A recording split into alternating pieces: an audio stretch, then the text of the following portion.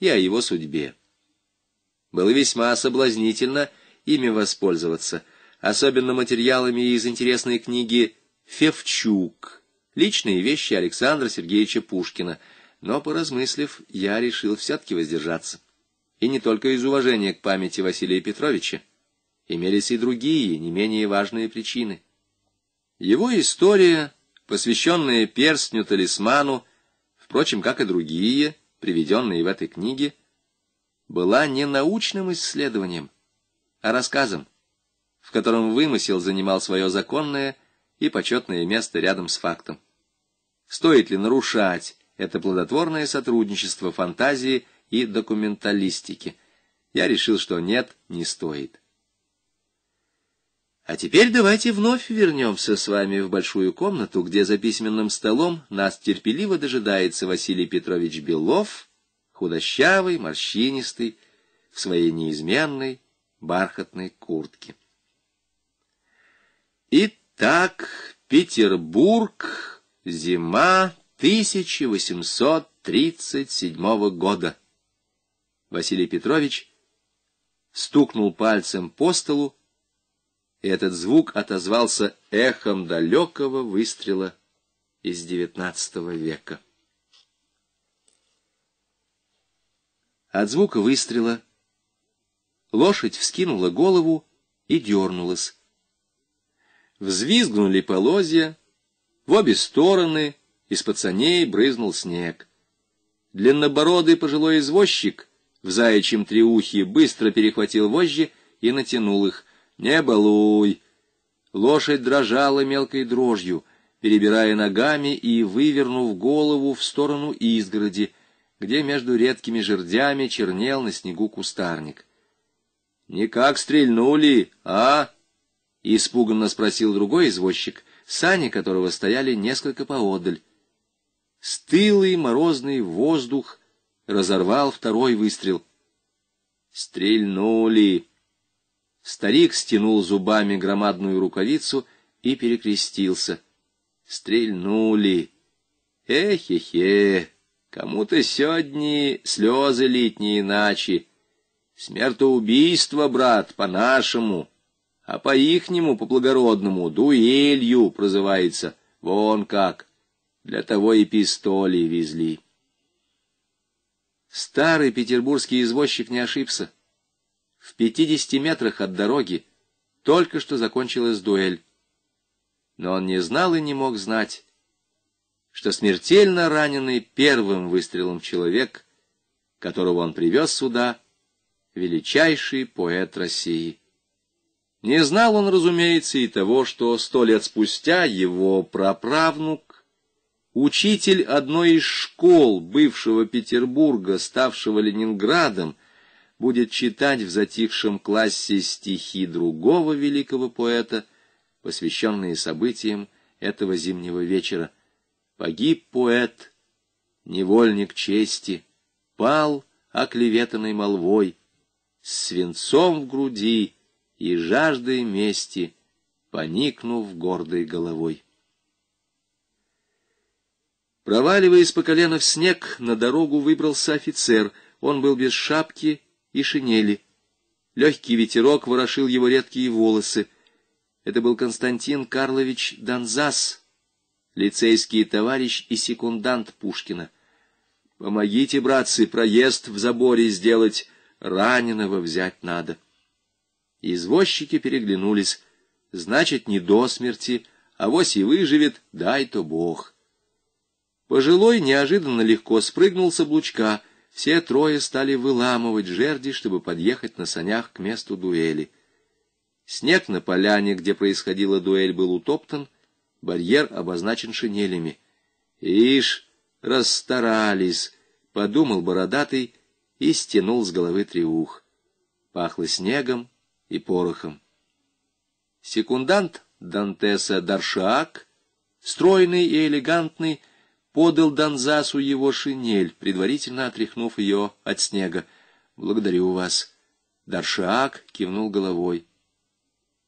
Жорж Дантес сидел, согнувшись на пне, положив на колено раненую руку и придерживая ее другой рукой.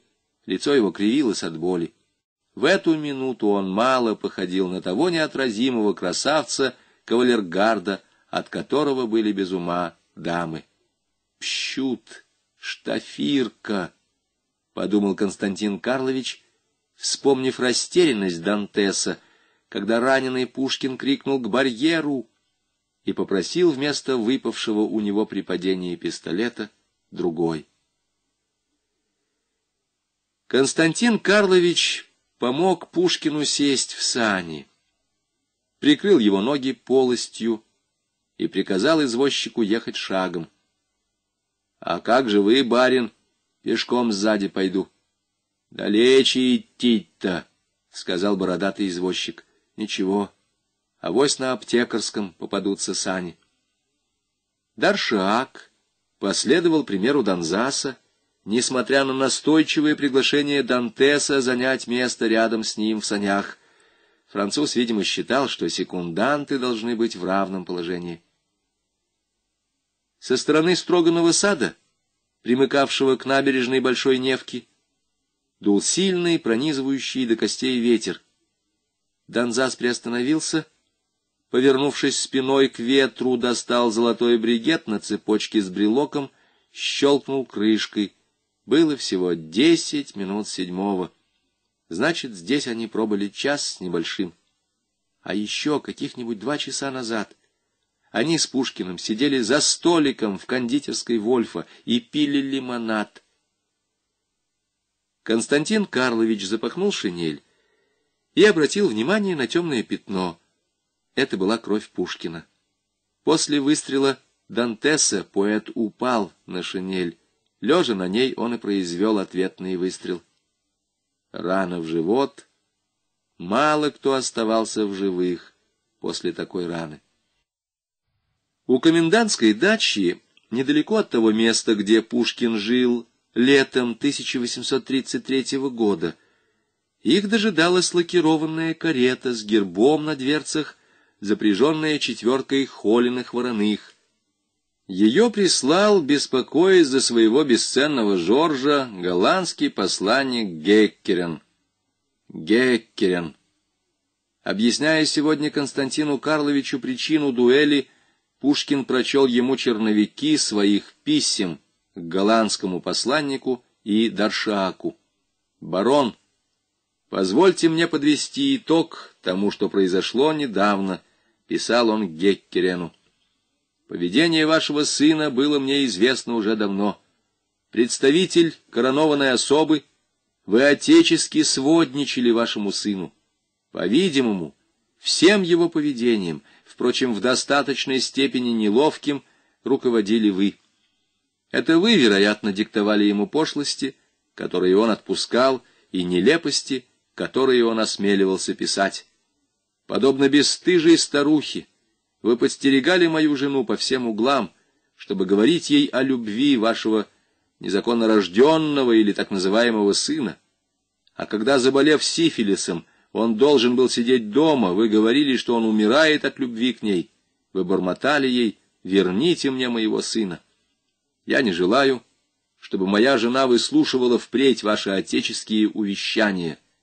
Я не могу позволить, чтобы ваш сын после своего мерзкого поведения смел разговаривать с моей женой, и еще того менее, чтобы он отпускал ей казарменные каламбуры и разыгрывал преданность и несчастную любовь, тогда как он просто плут и подлец.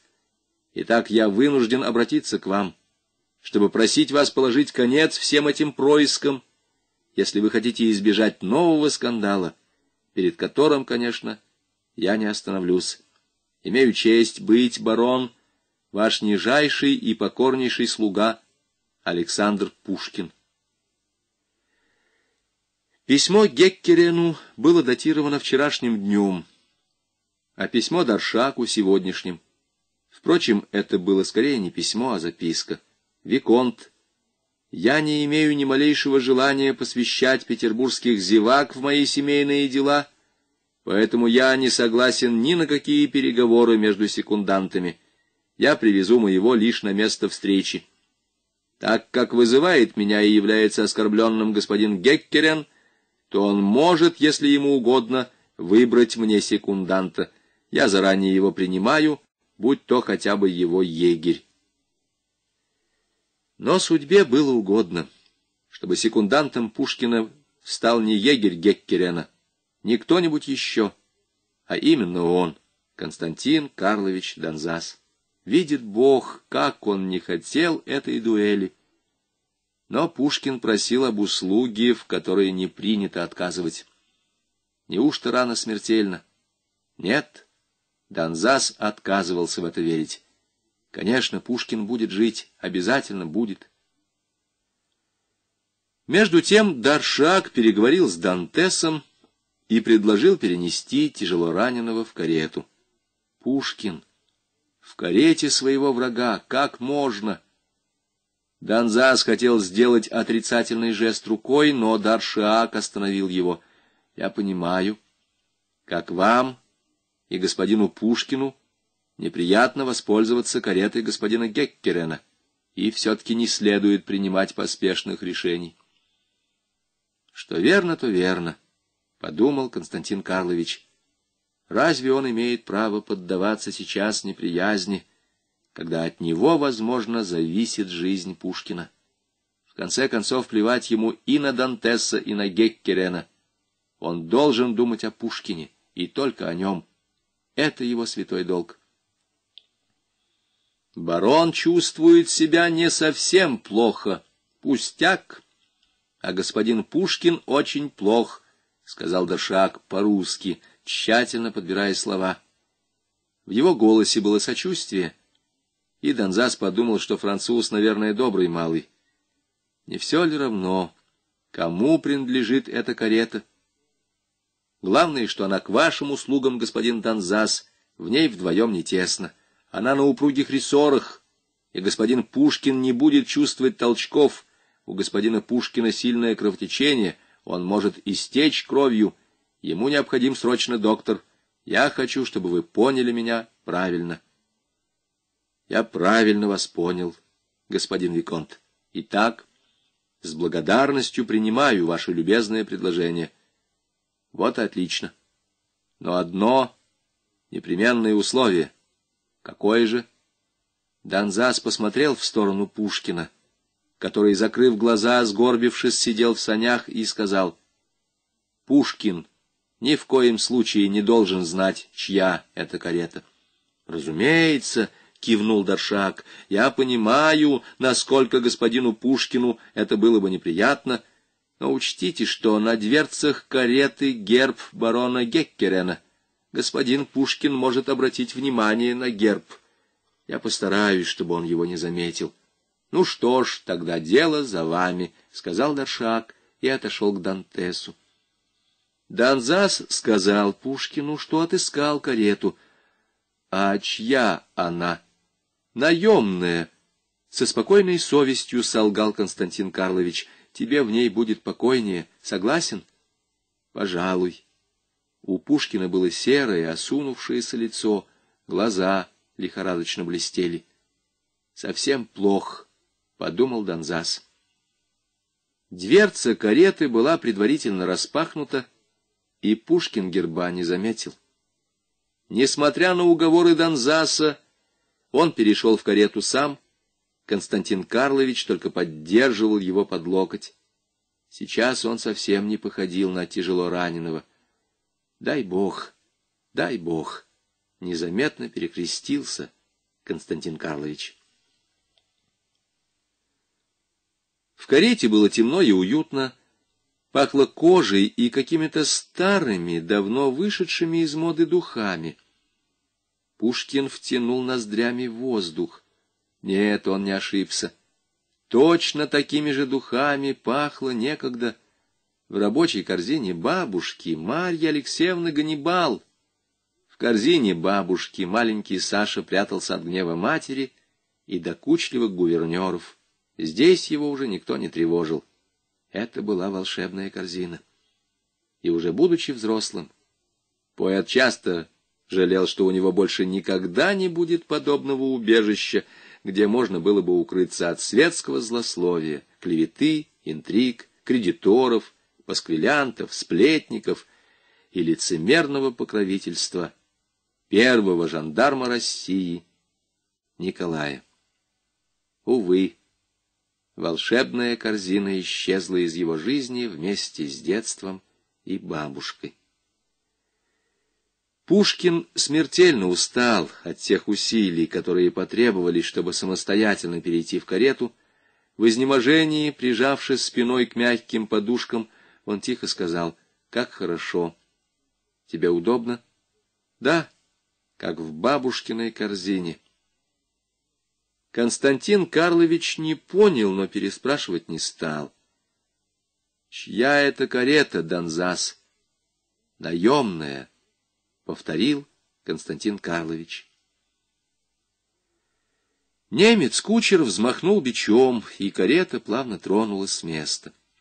Рессоры скрадывали толчки, и боль, которая еще несколько минут назад, поднимаясь от живота вверх, раскаленным клинком пронзала все тело, постепенно стихла, а затем и вовсе исчезла.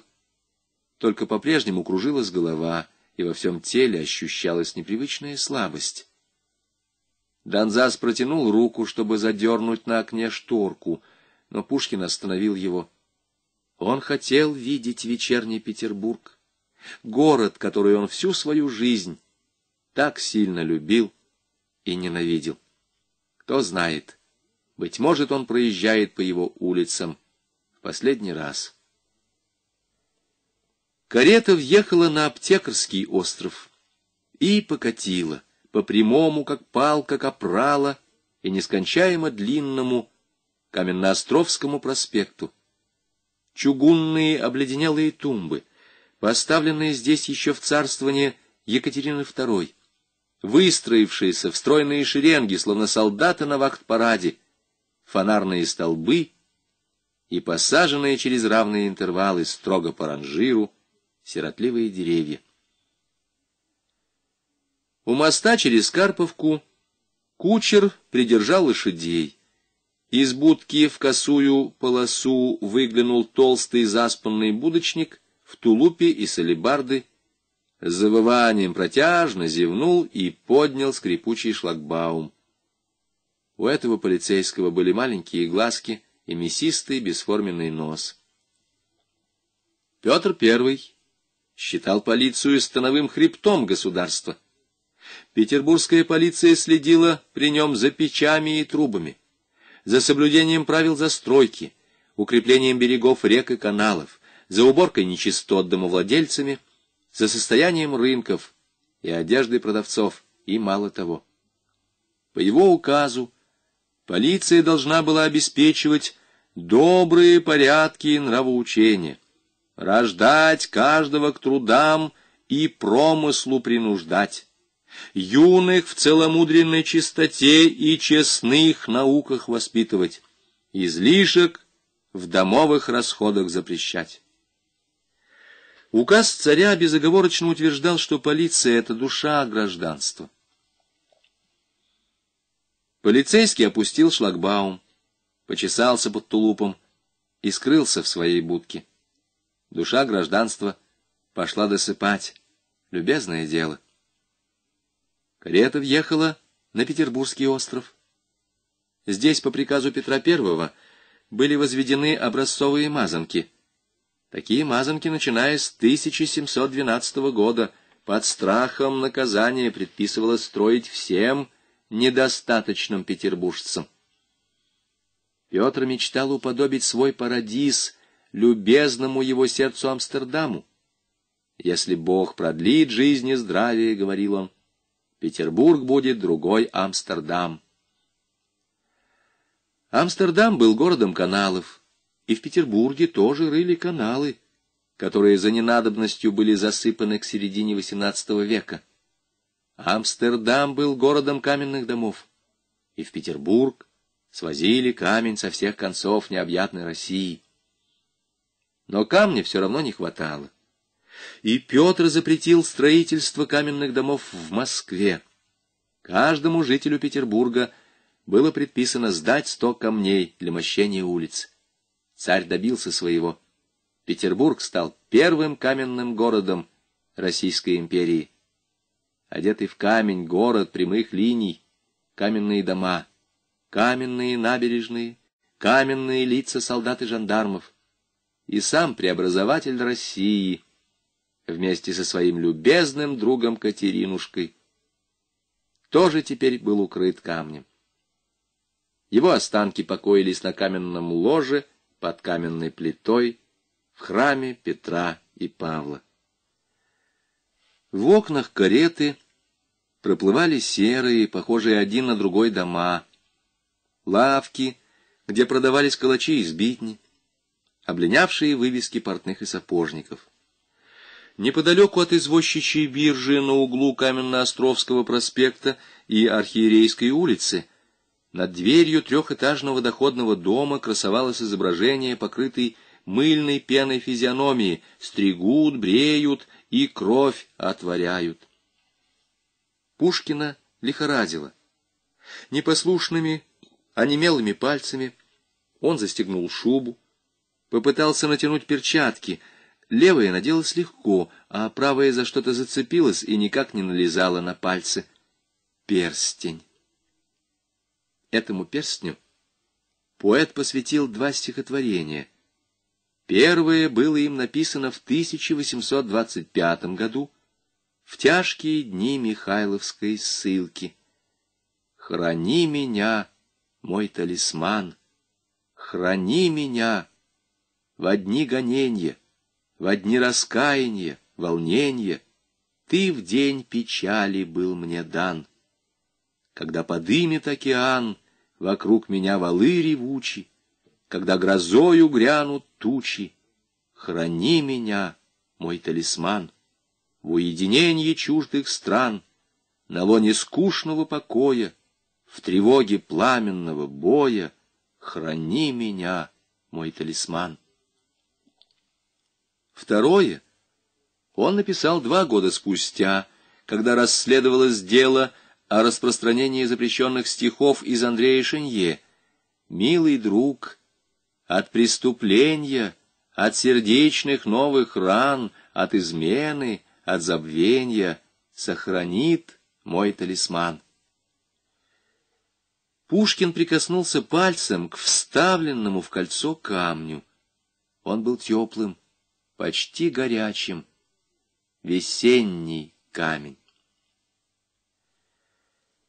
Древние безоговорочно верили в силу драгоценных камней.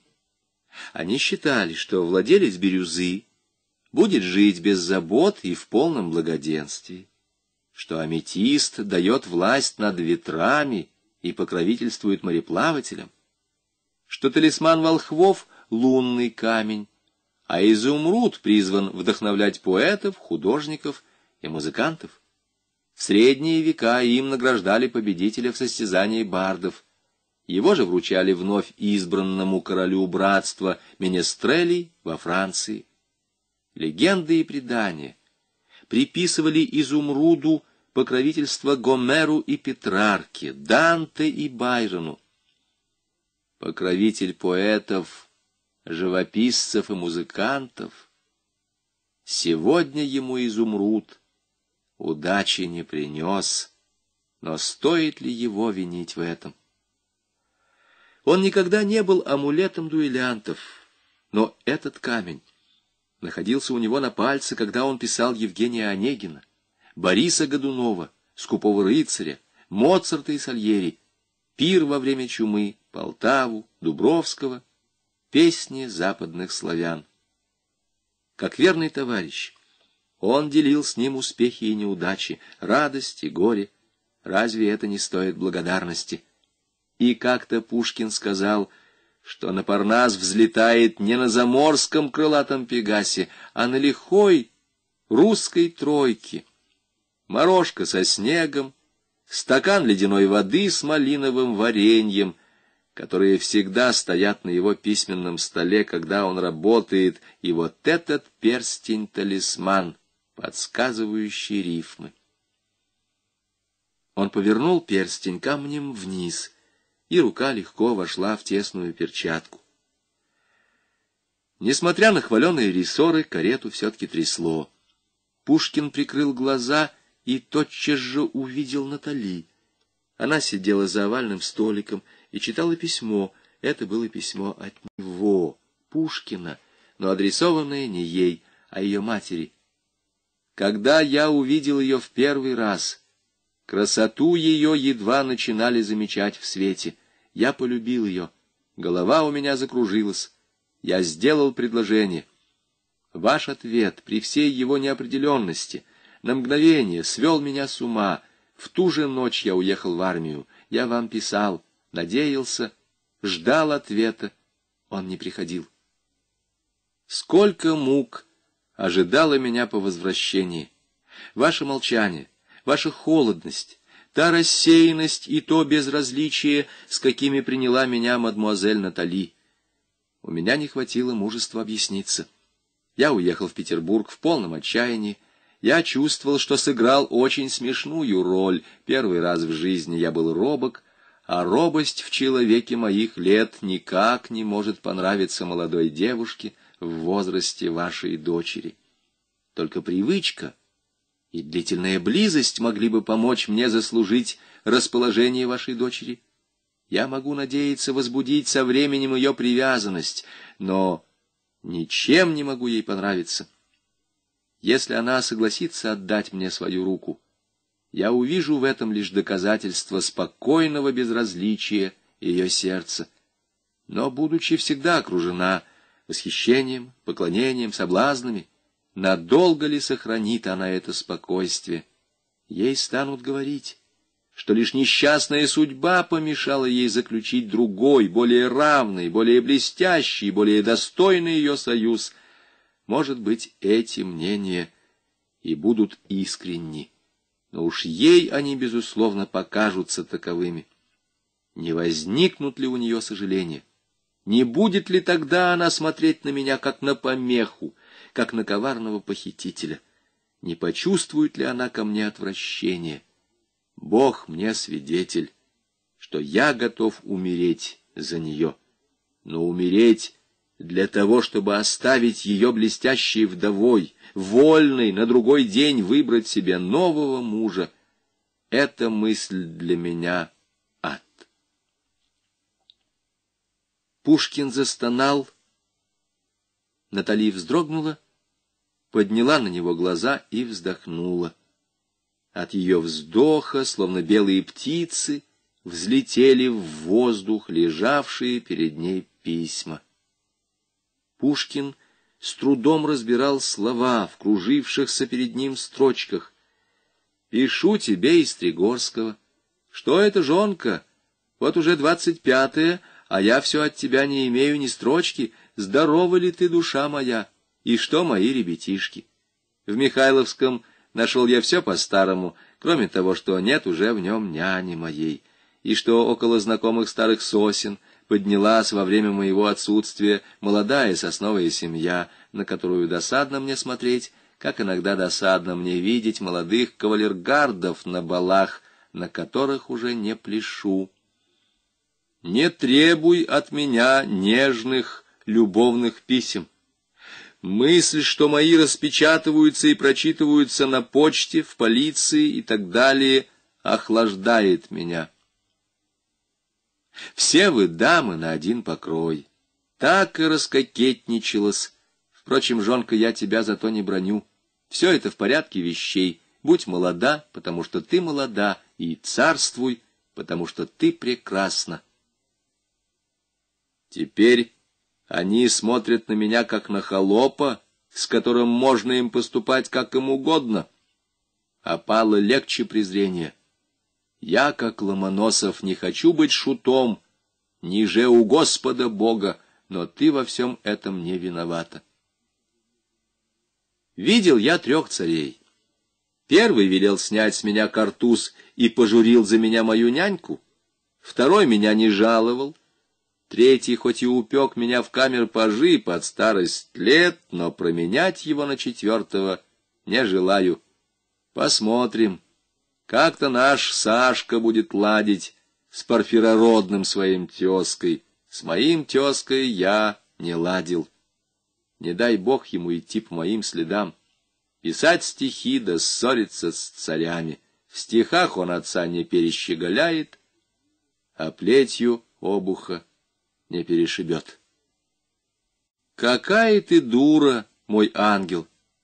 Конечно, я не стану беспокоиться от того, что ты три дня пропустишь без письма, так точно, как я не стану ревновать, если ты три раза сряду провальсируешь с кавалергардом. Из этого еще не следует, что я равнодушен и не ревнив. Натали приподняла правую руку.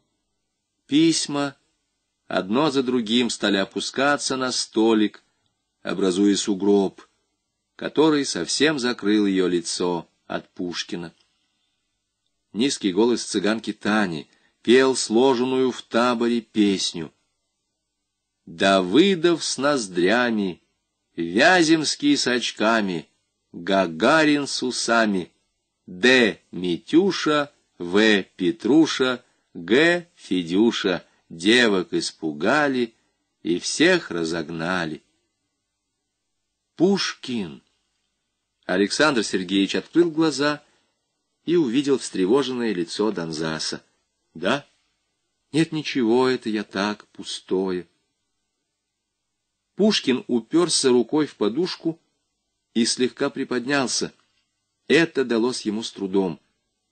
Вновь вернулась оставившая было его нестерпимая боль.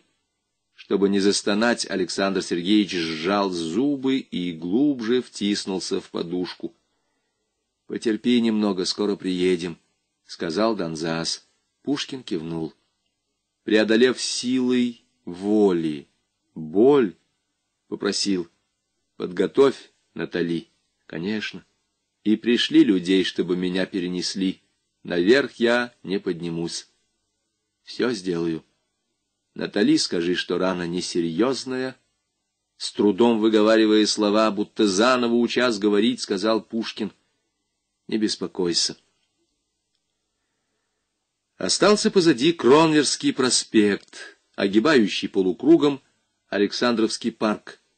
Они переехали Троицкий мост, и вот уже дворцовая набережная, нарядная, ярко освещенная.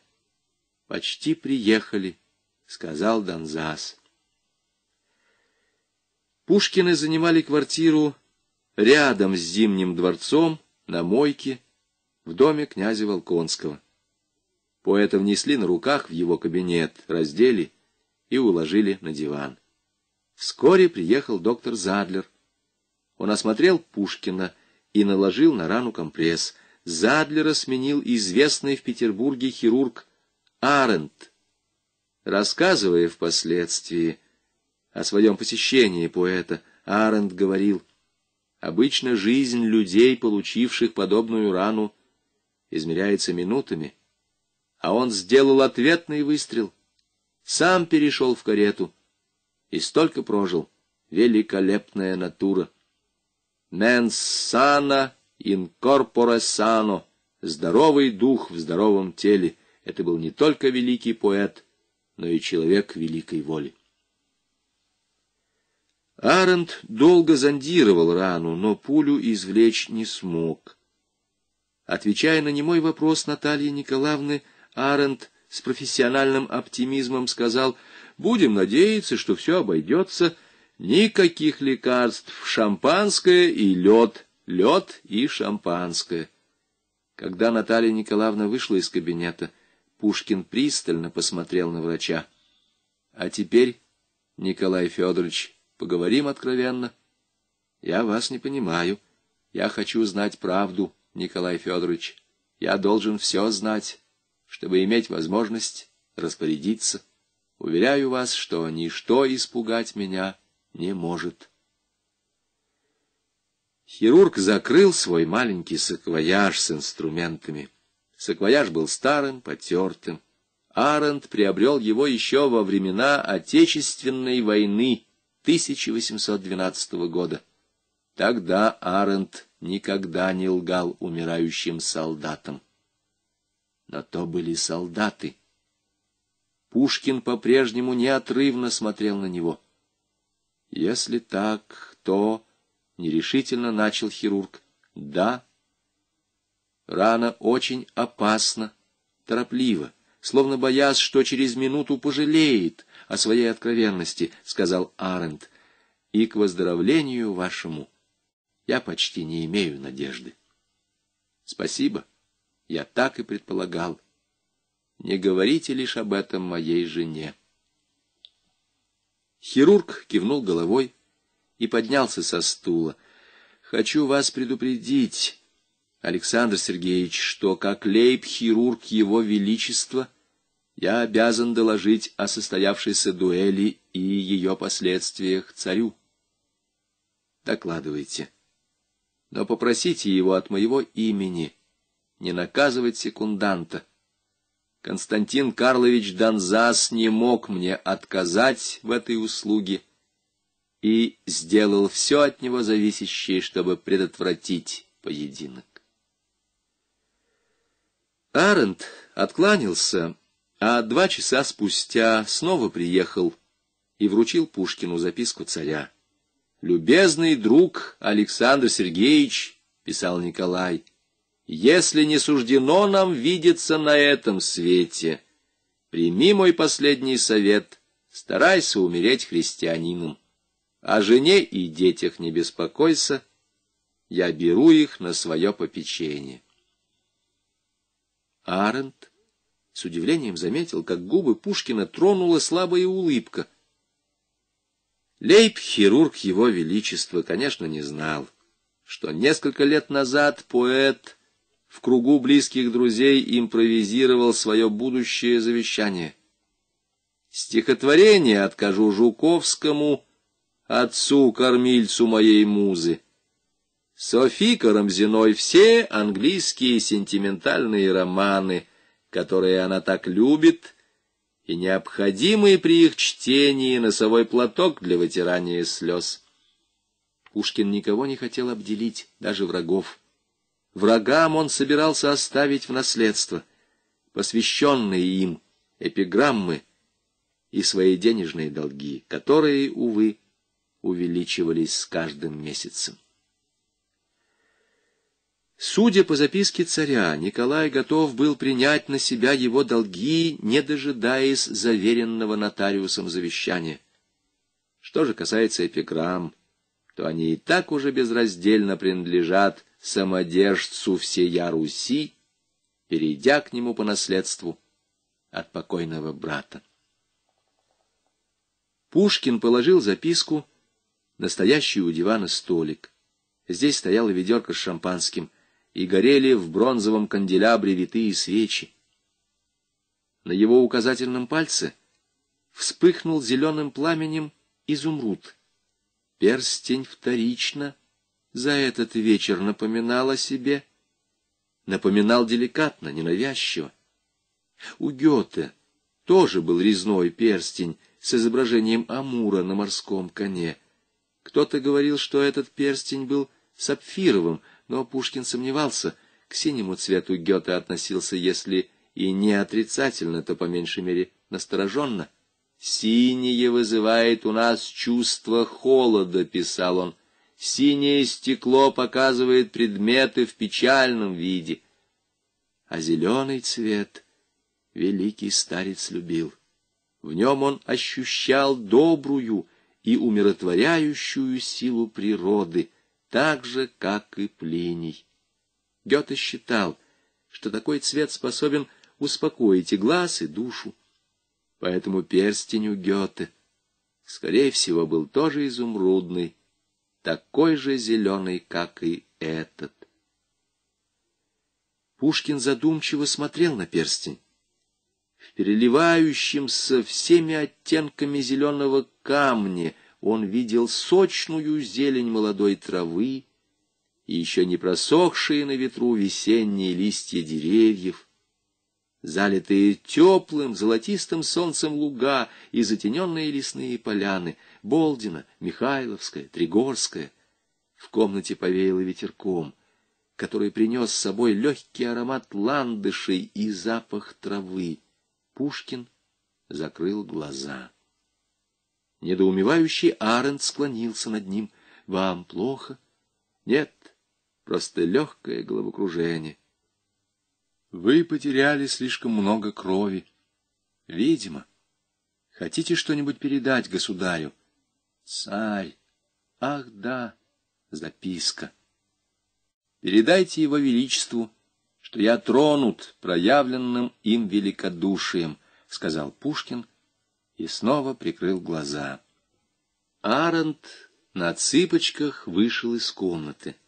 Александр Сергеевич уснул, не тревожьте его, — сказал он Наталье Николаевне. Но Арент ошибся. Пушкин не спал.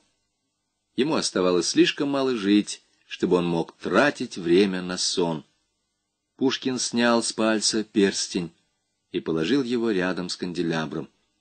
Что ж, враги не обижены. Они свое получили, но не следует забывать и о друзьях, а друзей у него всегда было много, во много раз больше, чем врагов.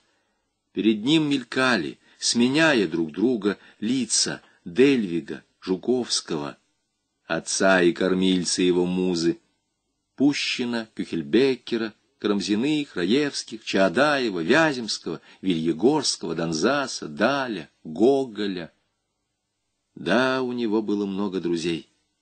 Было. Нет, он жив, пока еще жив. Ночью боли достигли предела, и поэт попросил камердинера принести ему средний ящик из письменного стола. В ящике лежали пистолеты. Донзас, которому камердинер тотчас же сообщил об этом, — обнаружил их уже спрятанными под одеялом. «Не нужно, сверчок!» Пушкин, стиснув зубы, тяжело и сипло дышал. Донзасу показалось, что он его не узнает. Пистолеты были кухенройтерские, с серебряными скобами и серебряной насечкой на стволах. Таких пистолетов у Дантеса не было — поэтому пистолеты для дуэли заказывались в оружейном магазине Куракина. Донзас вздохнул и положил пистолеты на место. Утром Пушкину стало немного легче. В своем письме к отцу поэта, написанном им после смерти Пушкина, Василий Андреевич Жуковский вспоминал. Одним словом, он сделался гораздо спокойнее. Даль, имевший сначала более надежды, нежели другие, начал его ободрять. «Я ухватился», — говорит Даль, как утопленник за соломинку, робким голосом провозгласил надежду и обманул было и себя, и других. Пушкин взял его за руку и спросил, «Никого тут нет?» «Никого. Даль, скажи мне правду, скоро ли я умру?» Мы за тебя надеемся, Пушкин, право, надеемся. Но спасибо, — отвечал он. Но, по-видимому, только однажды и обольстился он надеждою. Ни прежде, ни после этой минуты он ей не верил. Он мучился менее от боли, нежели от чрезмерной тоски. «Ах, какая тоска!» — иногда восклицал он, закидывая руки за голову. «Сердце изнывает. Однажды он спросил у Даля, кто у жены моей? Даль отвечал, много добрых людей принимают в тебе участие. Зало и передние полны с утра и до ночи. Ну, спасибо, — отвечал он. Однако же поди скажи жене, что все, слава Богу, легко, а то ей там, пожалуй, наговорят. С утра 28 числа в которой разнеслась по городу весть, что Пушкин умирает, передняя была полна приходящих. Одни осведомлялись о нем через посланных спрашивать об нем, другие, и люди всех состояний, знакомые и незнакомые, приходили сами. Трогательное чувство национальной общей скорби выражалось в этом движении, произвольном, ничем не приготовленном. Изъявления общего участия наших добрых русских меня глубоко трогали, но не удивляли. Участие иноземцев было для меня усладительной нечаятельностью. Мы теряли свое.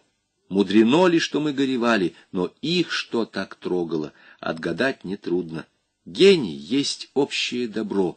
В поклонении гению все народы родня, и когда он безвременно покидает землю, все провожают его с одинаковую братскую скорбию.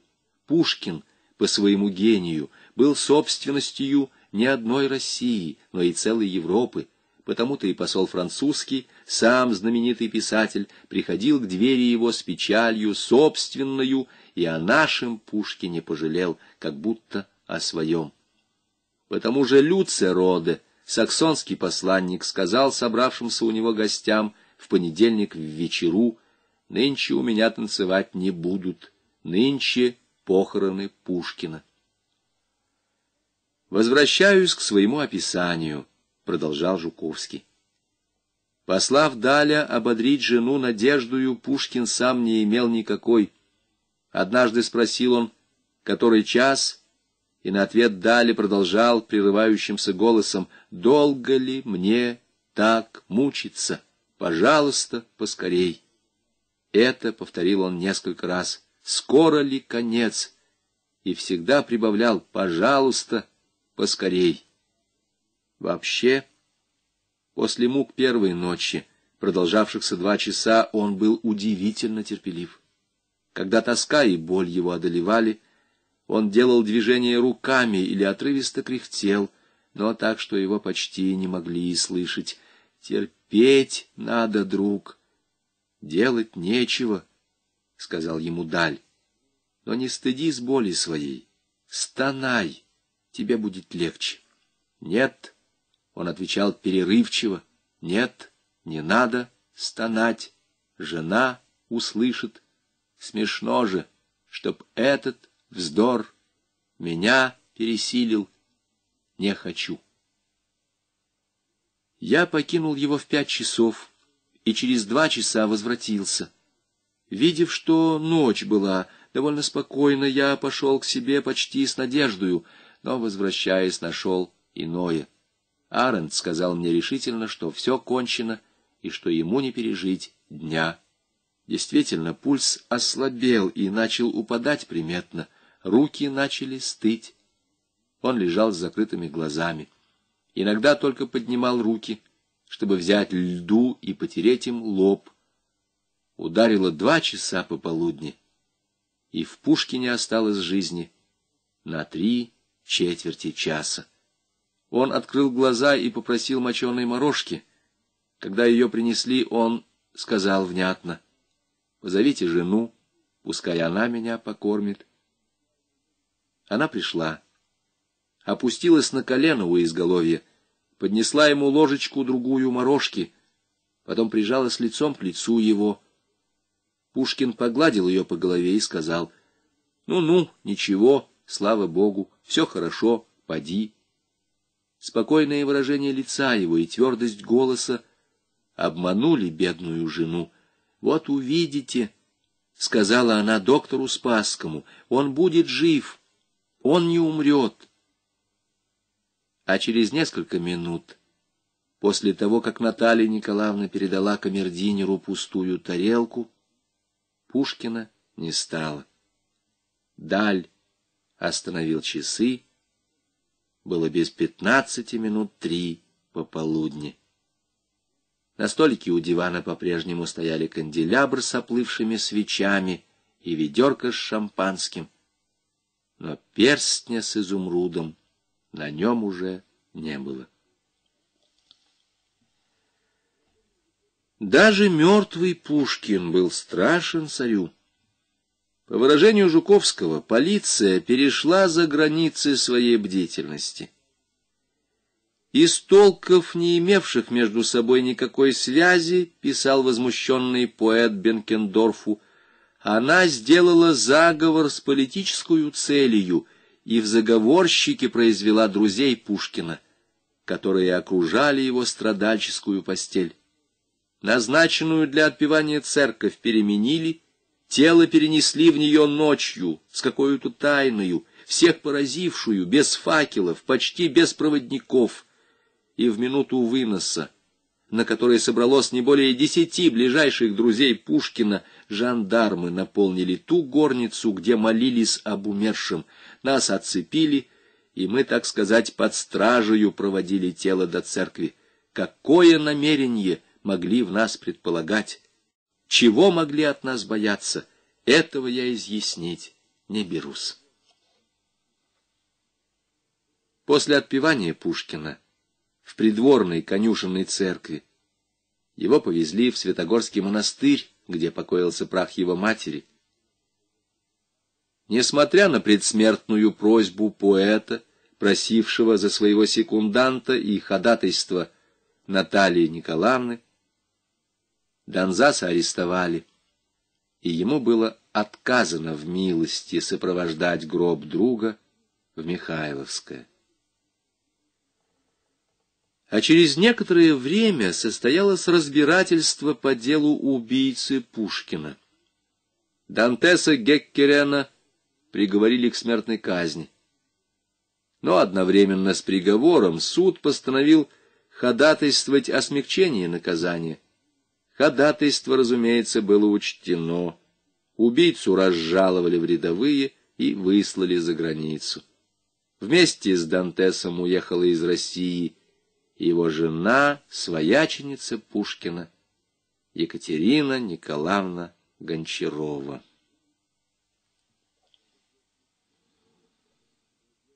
Василий Петрович зажег верхний свет, задернул на окне плотную штору. И там, по ту сторону зашторенных двойных стекол, остался Петербург 1837 года с его громадами дворцов, легконогими рысаками под цветными сетками, фонарями, полосатыми шлагбаумами и молодыми ясенями у черной речки.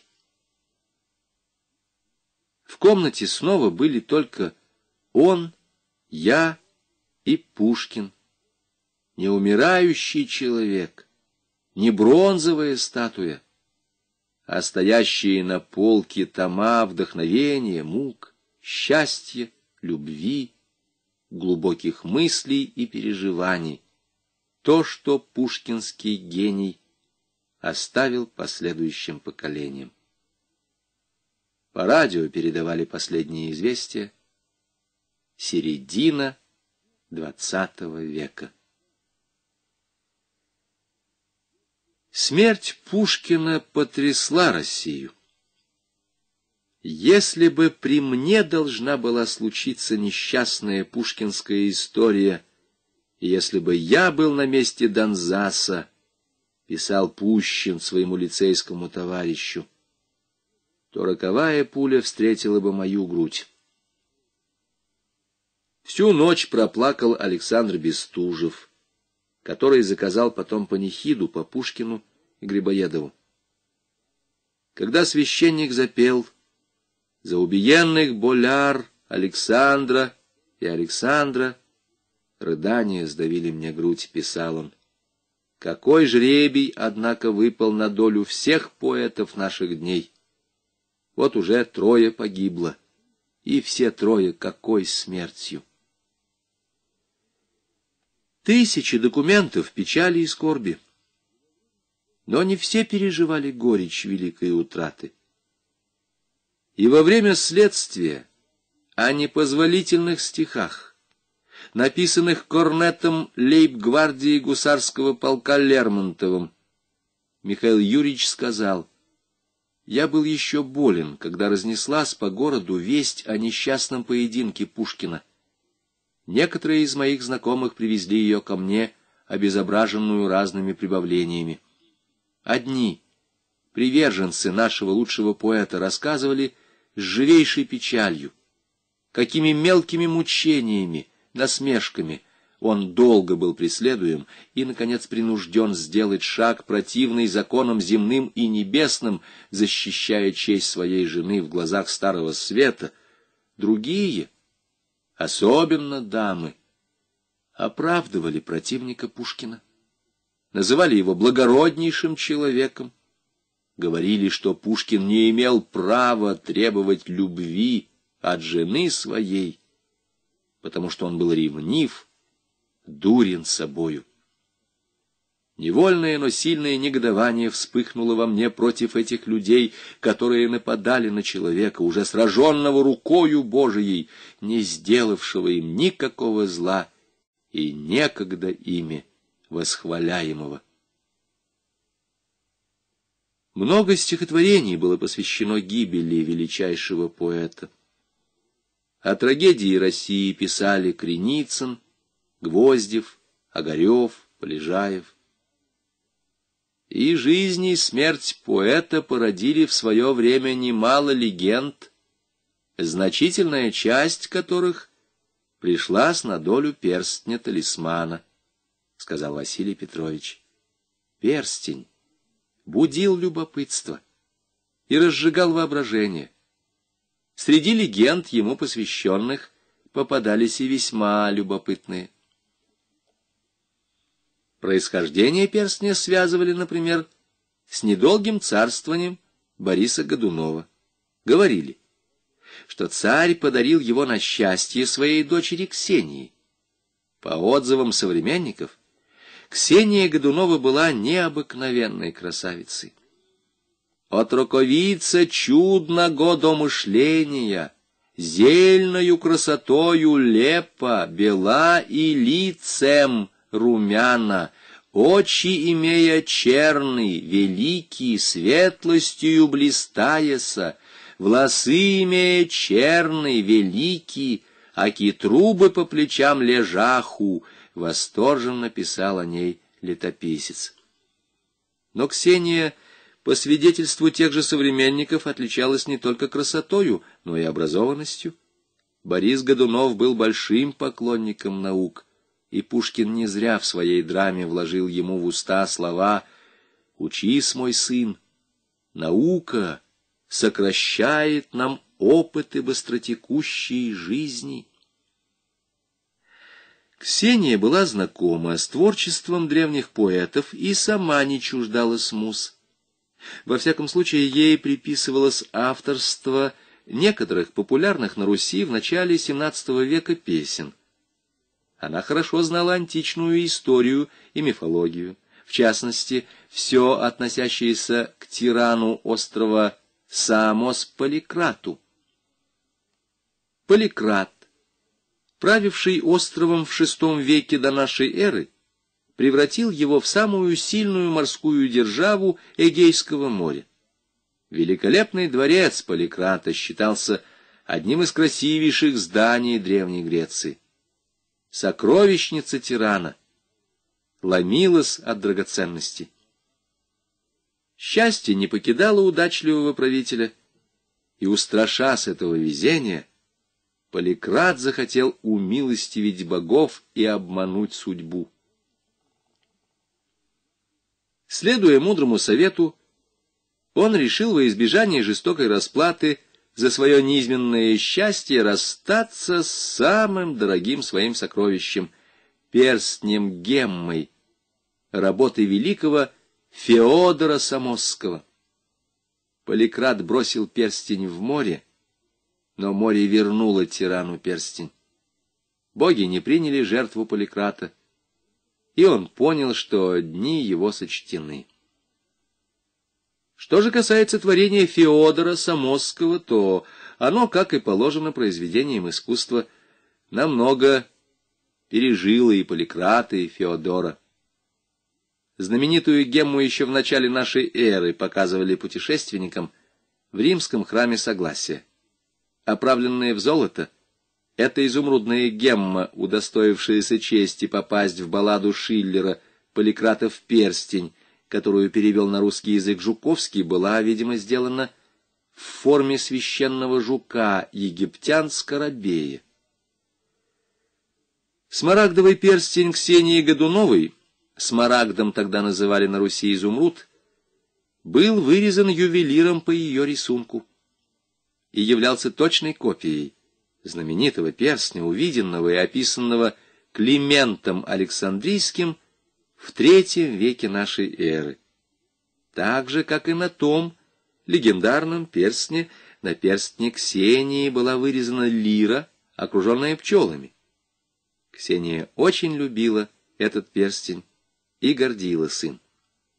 Но он не принес ей счастья, точно так же, как творение Феодора Самосского не вернуло Поликрату утраченного им благоволения богов. Когда царь Борис умер, а его жена и сын были злодейски убиты, Лжедмитрий I насильственно сделал Ксению своей наложницей. Слухи об этом дошли до Марины Мнишек и, вызвав у нее ревность, ускорили приезд невесты-самозванца в Москву.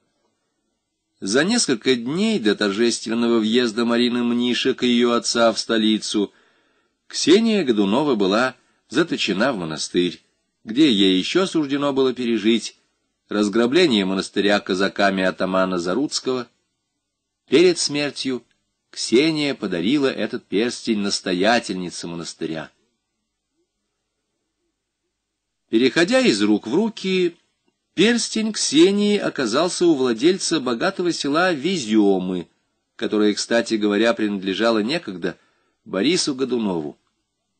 У этого помещика, являвшегося ее соседом по имению, бабушка Пушкина, Мария Алексеевна Ганнибал, и приобрела перстень Ксении, который завещала своему внуку.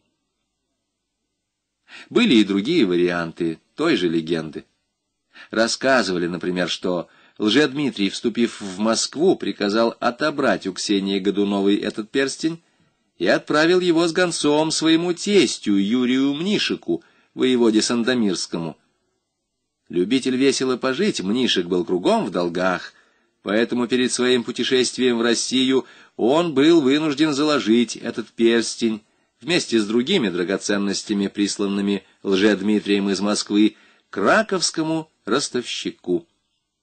Выкуплены эти ценности, разумеется, не были.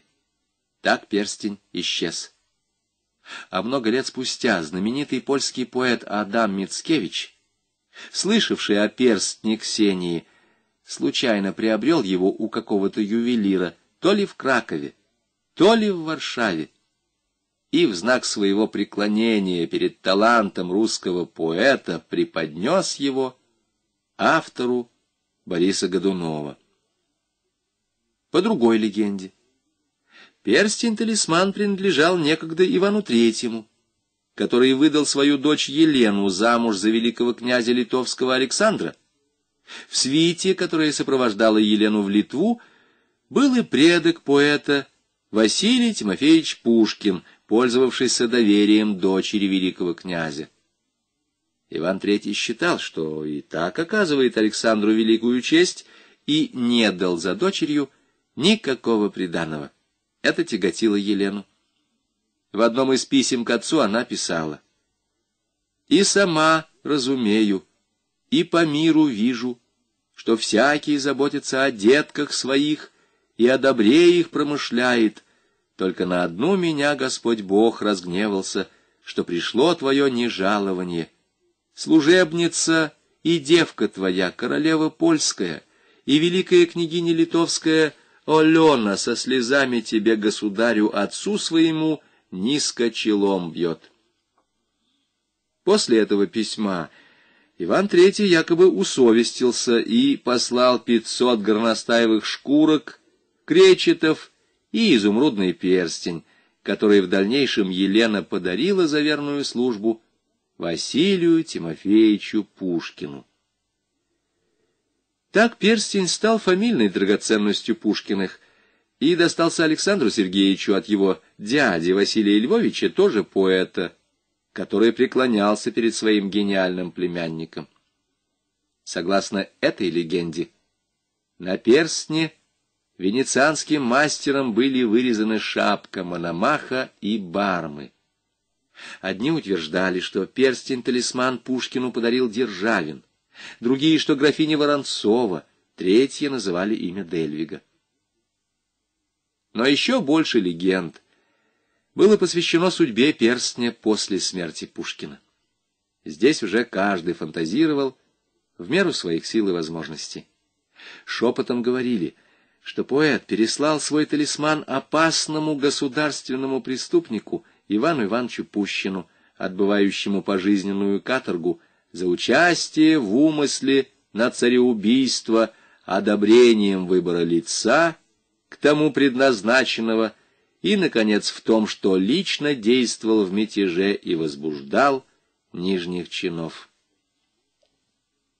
Некоторые уверяли, что перстень у этого чудовища Чаадаева.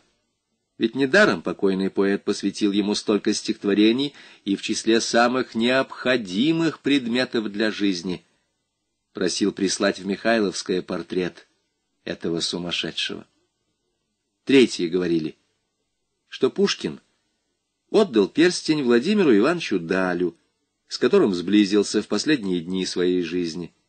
При этом вспоминали, с каким одобрением Пушкин встретил сказки Даля, о том, как поэт послал ему свой рукописный экземпляр сказки о рыбаке и рыбке с надписью «Твоя от твоих» сказочнику-казаку Луганскому, сказочник Александр Пушкин. Кстати, в статье Дали, помещенной в энциклопедическом словаре Брокгауза и Эфрона, приват-доцент Булич, как само собой разумеющееся, написал, что Даль присутствовал при трагической кончине Пушкина, от которого получил его перстень-талисман.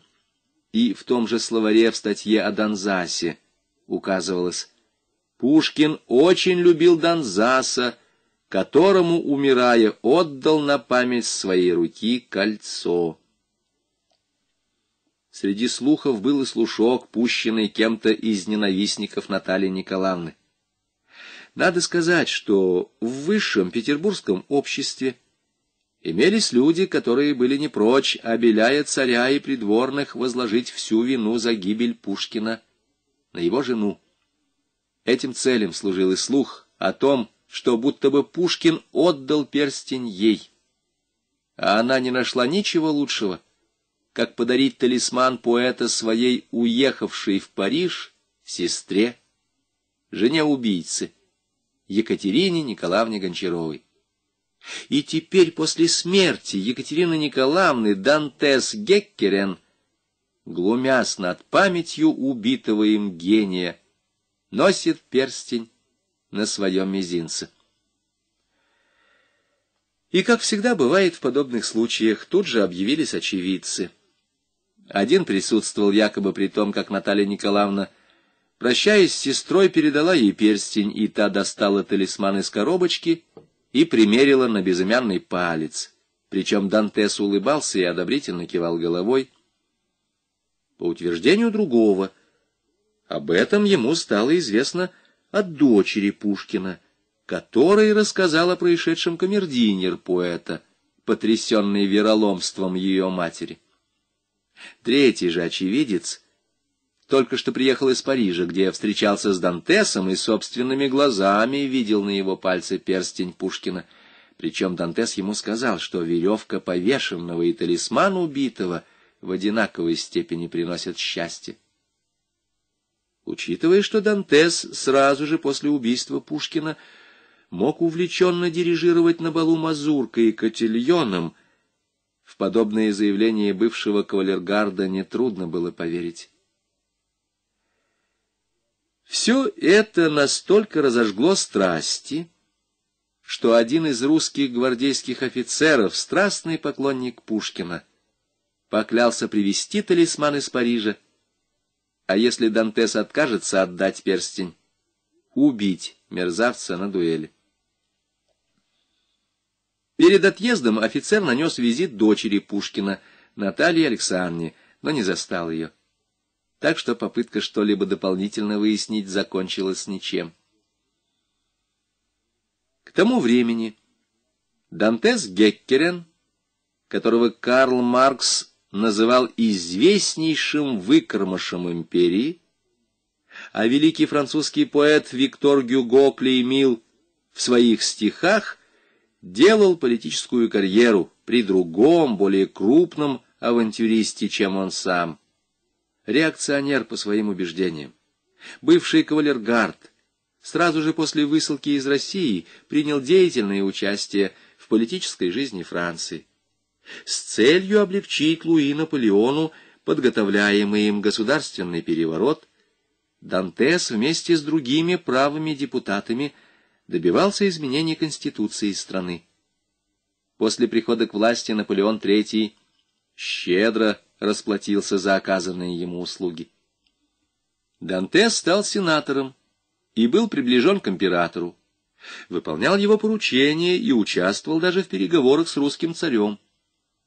Пользуясь своим положением при Наполеоне III, Дантес не чуждался и предпринимательства.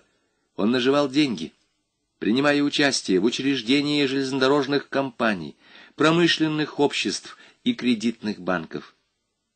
Екатерина Николаевна Гончарова скончалась во Франции, и Дантес по этому поводу не грустил. Он не любил своей жены, брак был вынужденным. Встретиться с любимцем Наполеона III было сложно. Он не принимал неизвестных ему людей, тем более людей из России. А тут еще русским офицерам. Сразу после его прибытия в Париж заинтересовалась хорошо информированная французская полиция — которая, видимо, получила кое-какие сведения о целях его приезда. В полиции знали, что молодость камергера императора, проведенная им в Петербурге, была отнюдь не безупречна, и что в России не забыли ни о гибели поэта, ни о виновнике этой гибели. Встреча с Дантесом откладывалась. Зато офицера, к его глубочайшему удивлению, охотно приняла у себя дочь Дантеса, Леония Шарлотта. Горничная тотчас же проводила русского в ее комнату. У дочери камергера были темные глаза и бледное лицо. «Для русских я всегда дома», — сказала она, поднимаясь навстречу офицеру. «Жаль только, что они у меня редкие гости. Как говорят в России, милости просим». Старательно выговорила она по-русски. «Я правильно говорю?» Первое что бросилось в глаза офицеру в кабинете Леонии и Шарлотты, был большой портрет Александра Сергеевича Пушкина, который висел на противоположной от дверей стене. Но это еще не все. На письменном столе молодой женщины, рядом с бронзовым бюстом Александра Сергеевича Пушкина, лежал раскрытый томик из собрания его сочинений — и исписанные листы бумаги. Офицер ожидал чего угодно, но только не этого. На какое-то время он потерял дар речи. «Но вы не ответили на мой вопрос. Простите, я правильно говорю по-русски?» «Бесподобно», — сказал офицер, думая совсем о другом. «Неужто без акцента? Без малейшего?» Странно. Странно не это. Странно не то, что вы говорите по-русски, а то, что вы чувствуете по-русски. Она проследила за его взглядом. Вы имеете в виду Александра Сергеевича? Да. Что же тут странного? Я наполовину русская. Но что же вы стоите? Присаживайтесь. Офицер сел. Он был явно растерян. Я работаю над переводом на французский язык Бориса Годунова, объяснила Леония Шарлотта, указав на письменный стол. Может быть, это слишком смело с моей стороны, но я считаю, что перевод «Ле Фюре» не слишком удачен, а мне бы хотелось, чтобы французы получили хоть некоторое представление о нашем гении. Она так и сказала «нашем». Если мне это удастся, я буду считать, что прожила не зря. И это, говорит она, дочь убийцы Пушкина, билась в мозгу офицера. Жуковский считал, что Пушкин принадлежит Европе, — сказал он. Я полностью согласна с Василием Андреевичем, но для того, чтобы стать необходимым всем, Гений должен быть глубоко национальным. Более русского поэта, чем Пушкин, я не встречала. По Пушкину можно изучать Россию, Вот это я и хочу попытаться выявить в своем переводе. Правда, пока мне это не очень удается. Я мечтаю увидеть Россию. Это помогло бы мне лучше справиться с переводом, не правда ли? Я хотел побеседовать относительно вашего отца, — робко сказал офицер, ошеломленный всем увиденным и услышанным. Глаза Леонии и Шарлотты сузились. «Если вы имеете в виду сенатора Дантеса Геккерена, то я его своим отцом не считаю». «Простите, но отец всегда остается отцом. Ошибаетесь. Или вы считаете, что яблоко от яблони недалеко падает?» «Я совсем это не имел в виду», — запротестовал офицер, — «но существуют узы крови, только не для меня. Я не могу признать отцом человека, который решился выстрелить в сердце России». Визит затянулся. Офицер провел в обществе Леонии Шарлотты целый вечер, а затем еще дважды навещал ее. В Россию он вернулся очарованной женщиной, которая оказалась достойной именоваться не дочерью Дантеса, а племянницей Пушкина. Знакомство с Леонией Шарлоттой стало для него уроком. Он понял, что жизнь не столь проста, как ему казалось, а яблоко от яблони падает порой очень далеко. Клятва, которую офицер дал перед своим отъездом в Париж — осталась невыполненной. Перстня-талисмана Пушкина он из Франции не привез. А сенатор и камергер Наполеона III умер в глубокой старости своей смертью. Дело в том, что Леония Шарлотта заверила посланца из России. Наталья Николаевна никогда не дарила ее матери перстня покойного поэта. Более того, она, Леония Шарлотта, даже не слышала об этом талисмане. Таким образом, экспансивного юного офицера, который был моим отцом, Петром Никифоровичем Беловым, постигла неудача. Но в этой неудаче, впрочем, как и в каждой неудаче, были и свои положительные стороны. Во-первых, отец до конца дней своих сохранил светлые воспоминания о Леоне и Шарлотте, с которой некоторое время даже переписывался. Она собиралась посетить Россию, и твердую уверенность, что она стала вечным укором для Дантеса. А во-вторых, что, с моей точки зрения, более существенно, он по-настоящему заинтересовался пушкинским талисманом — и положил немало трудов на то, чтобы установить истину. Надо сказать, рассказывал он мне впоследствии, что после возвращения в Петербург я вообще некоторое время сомневался в существовании этого перстня.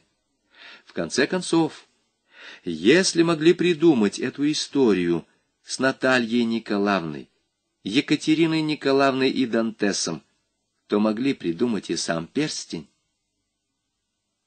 Однако встреча с дочерью Пушкина, Натальей Александрой, рассеяла всякие сомнения на этот счет.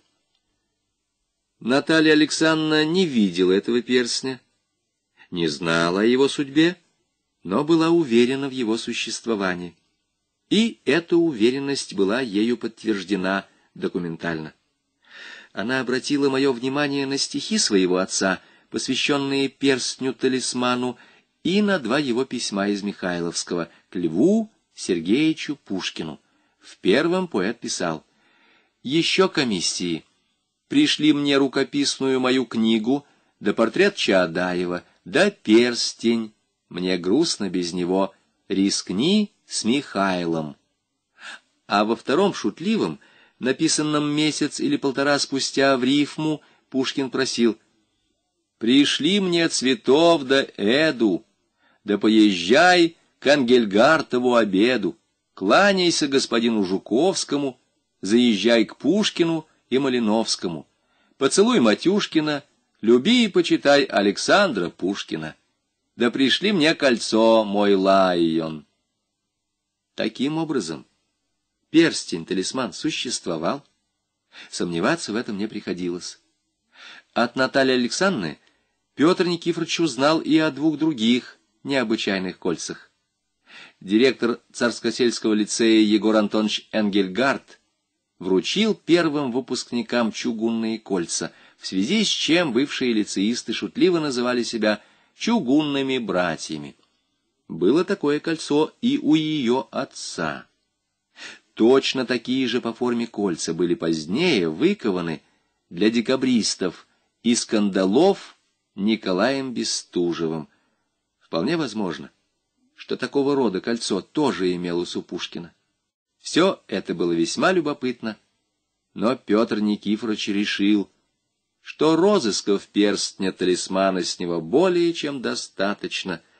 Пусть поисками этих двух колец займется кто-нибудь другой.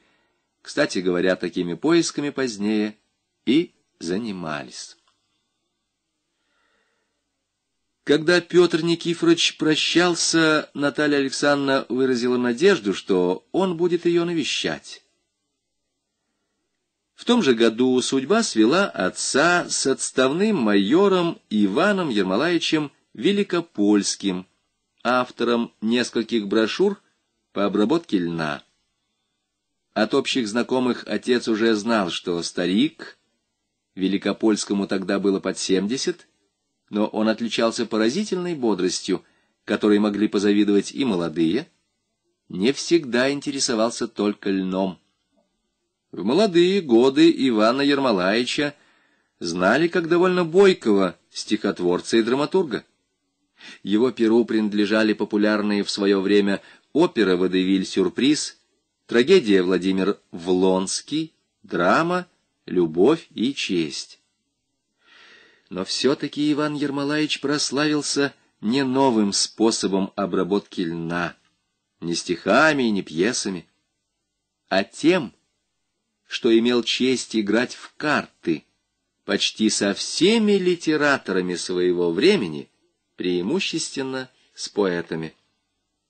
Беседы с Великопольским не раскрыли тайну талисмана, но все же оказались полезными. В тетради отца появилась такая запись. Василий Петрович достал Софьяновую тетрадь и прочел.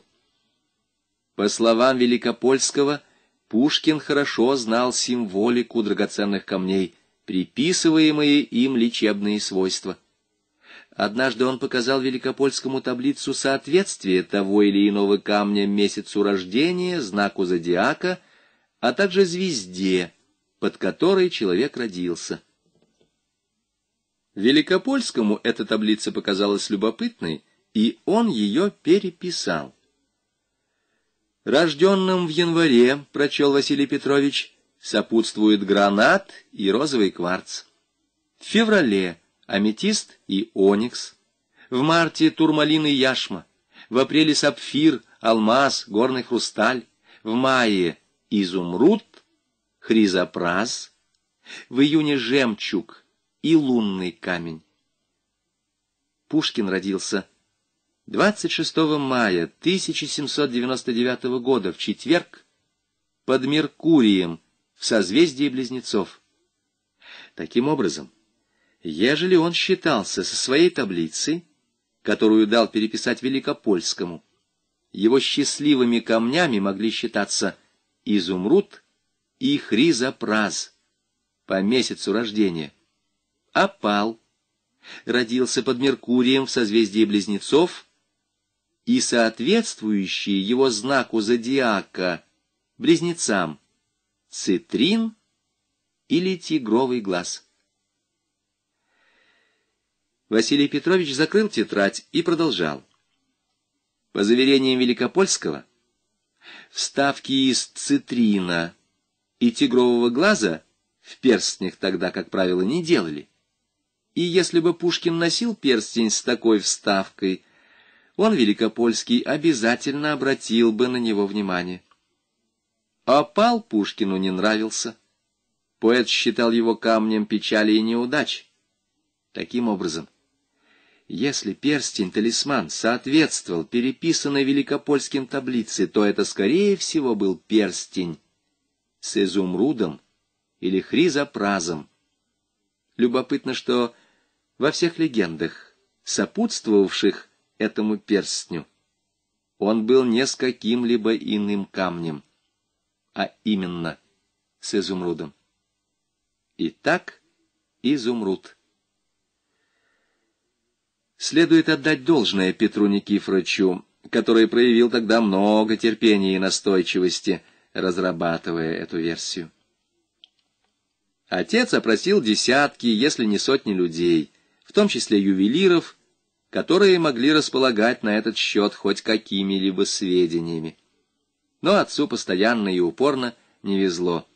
Впрочем, через некоторое время после его поездки в Париж, где он познакомился с дочерью Дантеса, Ему показалось, что фортуна повернулась к нему лицом и даже изволила улыбнуться. Отцу попала в руки копия, составленного в 1827 году для Николая I алфавита членов бывших злоумышленных тайных обществ и лиц, прикосновенных к делу, произведенного высочайшую утвержденную 17 декабря 1825 года следственную комиссией. В этом алфавите против имени Никиты Всеволодовича Всеволожского было написано «Всеволожский был учредителем общества «Зеленая лампа», которому название сие дано от лампы, висевшей в зале его дома, где собирались члены, коими по словам Трубецкого, были Толстой, Дельвик, Родзянко, Барков и Улыбышев. Среди перечисленных фамилий Пушкина не было. Но в том, что он состоял членом этого общества, не было никаких сомнений.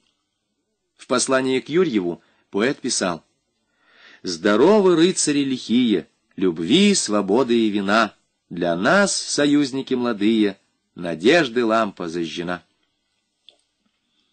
Зеленая лампа упоминалась и в письме Пушкина к Мансурову. «На силу упросил я Всеволожского, чтобы он позволил мне написать тебе несколько строк, любезный Мансуров, чудо-черкес. Здоров ли ты, моя радость? Весел ли ты, моя прелесть? Помнишь ли нас, друзей твоих, мужа с Кагополу? Мы не забыли тебя, и в семь часов с половиной каждый день поминаем в театре, рукоплесканиями, вздохами и говорим «Свет-то наш Павел! Что-то делает он теперь в Великом Новгороде.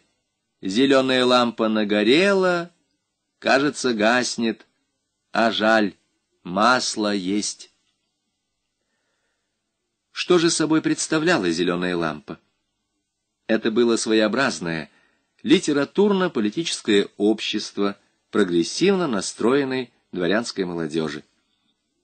Веселье и тосты в честь вакха, мус и красоты перемежались здесь с весьма смелыми политическими разговорами и спорами о будущем устройстве России. И в записке Якова Николаевича Толстого, которую он направил 17 октября 1829 года Николаю I, указывалось, что общество получило название «зеленой лампы» по причине лампы сего цвета, висевшей в зале, где собирались члены. Под сим названием крылось, однако же, двусмысленное подразумение, и девиз общества состоял из слов «свет» и «надежда».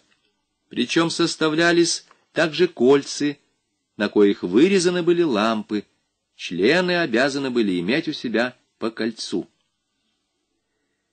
Когда Петр Никифорович обнаружил, что именно такой печатью, с изображением лампы, поэт запечатал свое письмо к Павлу Мансурову, он уже почти не сомневался, тайна талисмана разгадана. Конечно же, Пушкин, всегда сочувствовавший вольнолюбивым стремлениям своих друзей-декабристов, Пушкин, у которого, видимо, хранилось одно из железных колец, сделанных из кандалов Бестужевым, на всю жизнь сохранил перстень-печатку с лампой надежды на лучшее будущее России. Эта печатка и являлась его талисманом с юных лет, и до трагической смерти от руки Дантеса. Но, увы, открытие, которым так гордился мой отец, только увеличило число легенд и ни на шаг не приблизило его к разгадке.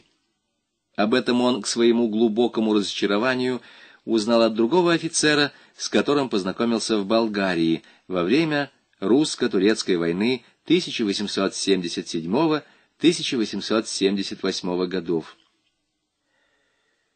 Этот офицер в Балканскую кампанию командовал 13-м Нарвским гусарским полком и за проявленное мужество был награжден золотым оружием и Георгием третьей степени.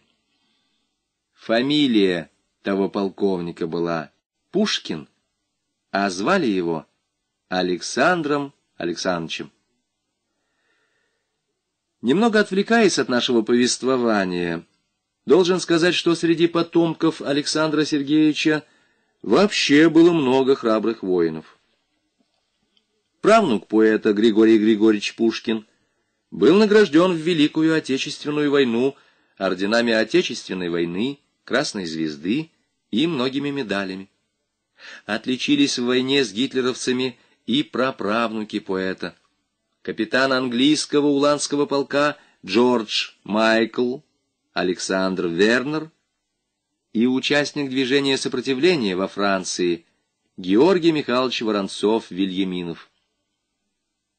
Отец мне говорил, что Александр Александрович Пушкин унаследовал от поэта его необыкновенные серые глаза, вьющиеся волосы и длинные тонкие пальцы рук. Не знаю. Мне привелось увидеть впервые Александра Александровича уже в весьма преклонном возрасте, когда он в звании генерал-лейтенанта вышел в отставку и то ли заведовал Московским коммерческим училищем, то ли председательствовал в опекунском совете. Я в то время гимназист-первоклассник — во все глаза смотрел на хозяина дома, сына великого Пушкина. Однако словоохотливый старик ничем не напоминал своего знаменитого отца, каким тот представлялся мне по портретам и скульптурам. Возможно, мне не хватало воображения, а может быть, Пушкин в камне и на полотне совсем не был похож на того Пушкина, который много лет назад сажал к себе на колени сына Сашку, мальчика, который теперь стал стариком. Петр Никифорович Белов не только познакомился в Болгарии с командиром 13-го Нарвского гусарского полка. Несчастливый номер полка очень смущал Александра Александровича, он считал, что наверняка будет убит в бою, и все же лез под пули но, несмотря на разницу в чинах, сошелся с ним, а к концу жизни даже сдружился. Насколько я теперь понимаю, полковник Пушкин отнесся к поискам отца с некоторой долей юмора.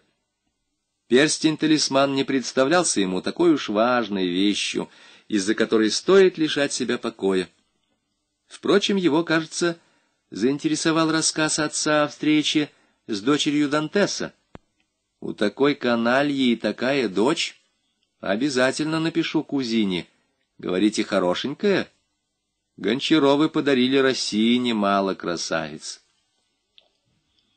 Петр Никифорович заговорил об обществе «Зеленая лампа», о печати, которой поэт запечатал свое письмо Мансурову, и спросил, «Вам приходилось что-либо слышать о гемме печати с изображением лампы?» «Как же слышал!» — подтвердил Пушкин-младший, и этими словами превратил отца в самого счастливого человека в Болгарии. Полковник сказал, что действительно, по семейным преданиям, у Александра Сергеевича имелся перстень-печатка с изображением лампы. А где он теперь? Представления не имею. Но, видимо, можно попытаться его разыскать. Можно, усмехнулся Александр Александрович, невозможного не существует. Но нужно ли? Перстень с изображением лампы был потерян отцом очень давно, в Кишиневе или Гурзуфе, а может, еще где. Ежели не ошибаюсь, стихотворение «Талисман» он написал в году двадцать пятом или двадцать шестом. В двадцать седьмом, — поправил отец, — тем более. К тому времени перстня с лампой у него давно уже не было. Таким образом, вы хотите сказать, что он никак не мог быть перстнем-талисманом? Упавшим голосом спросил отец, превращаясь из самого счастливого в самого несчастного. Увы. Вы уверены в этом, Александр Александрович? Как сие не прискорбно, никакого сомнения на этот счет у меня не имеется. Заметив, что отец обратил внимание на его перстень с бирюзой, Александр Александрович оттопырил мизинец правой руки и сказал, «Эту бирюзу отец подарил матери после дуэли с Дантесом, и точно такую же Константину Карловичу Донзасу, только тот, я слышал, потерял ее. Мать отдала ее мне на счастье». Бирюза на мизинце Александра Александровича была небесно-голубого цвета, просвечивающая по краям, почти прозрачная. Феризе, камень счастья. Такую бирюзу на Востоке называют исхаки, и очень ее ценят. «Хороша, не правда ли?» — спросил Александр Александрович. «Меня научили, что надлежит делать, чтобы навсегда сохранить ее цвет, ведь бирюза выцветает. Я ее раз в году кладу в горячую мыльную воду. Александру Сергеевичу нравилась бирюза? — спросил отец. — Видимо, ежели он хранил ее у себя, — сказал Александр Александрович, и, посмотрев на отца, засмеялся. — Перстень-талисман. Он самый. Да нет. Перстень-талисман, полагаю, не из бирюзы был. Перстень-талисман, вероятно, был изумрудным. Таким образом, — сын Пушкина подтверждал сказанное Великопольским. «Говорят, изумруд был любимым камнем отца», — продолжал Александр Александрович.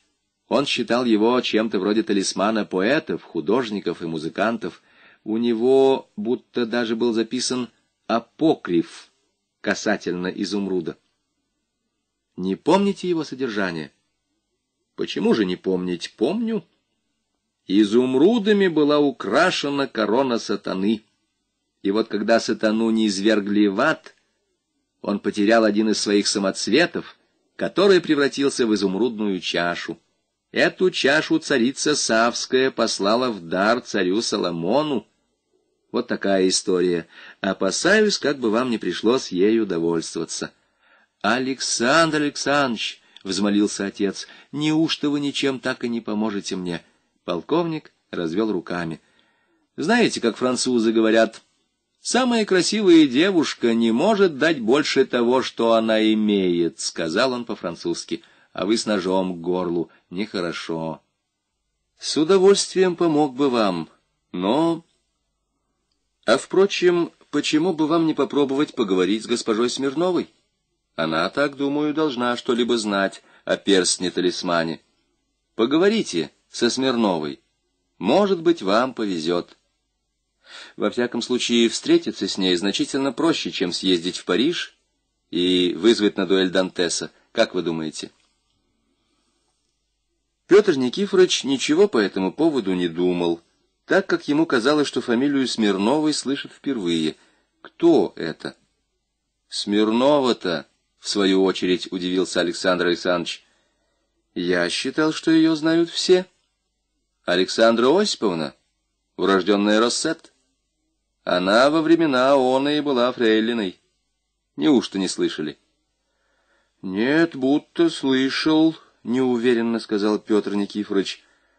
Она в литературе пробовалась. — Позвольте, это не та, что опубликовала в русском архиве воспоминания о вашем отце и Жуковском? — Совершенно справедливо. Она самая, — подтвердил Александр Александрович. Помнится, она кому-то говорила о перстне-талисмане, который был подарен отцу графини Воронцовой. Правда, поговаривают, что она выжила из ума, но чем черт не шутит. Хватка у вас хорошая, гвардейская. Потрясите старушку, авось вам с ней повезет. Проживавшая за границей Смирнова объявилась в России в 1880 году. Отца ей представили, но поговорить с ней ему никак не удавалось. Смирнова нигде не появлялась и никого не принимала у себя. Но на этот раз Петру Никифоровичу все-таки сопутствовала удача. Москва готовилась к открытию монумента Александру Сергеевичу Пушкину.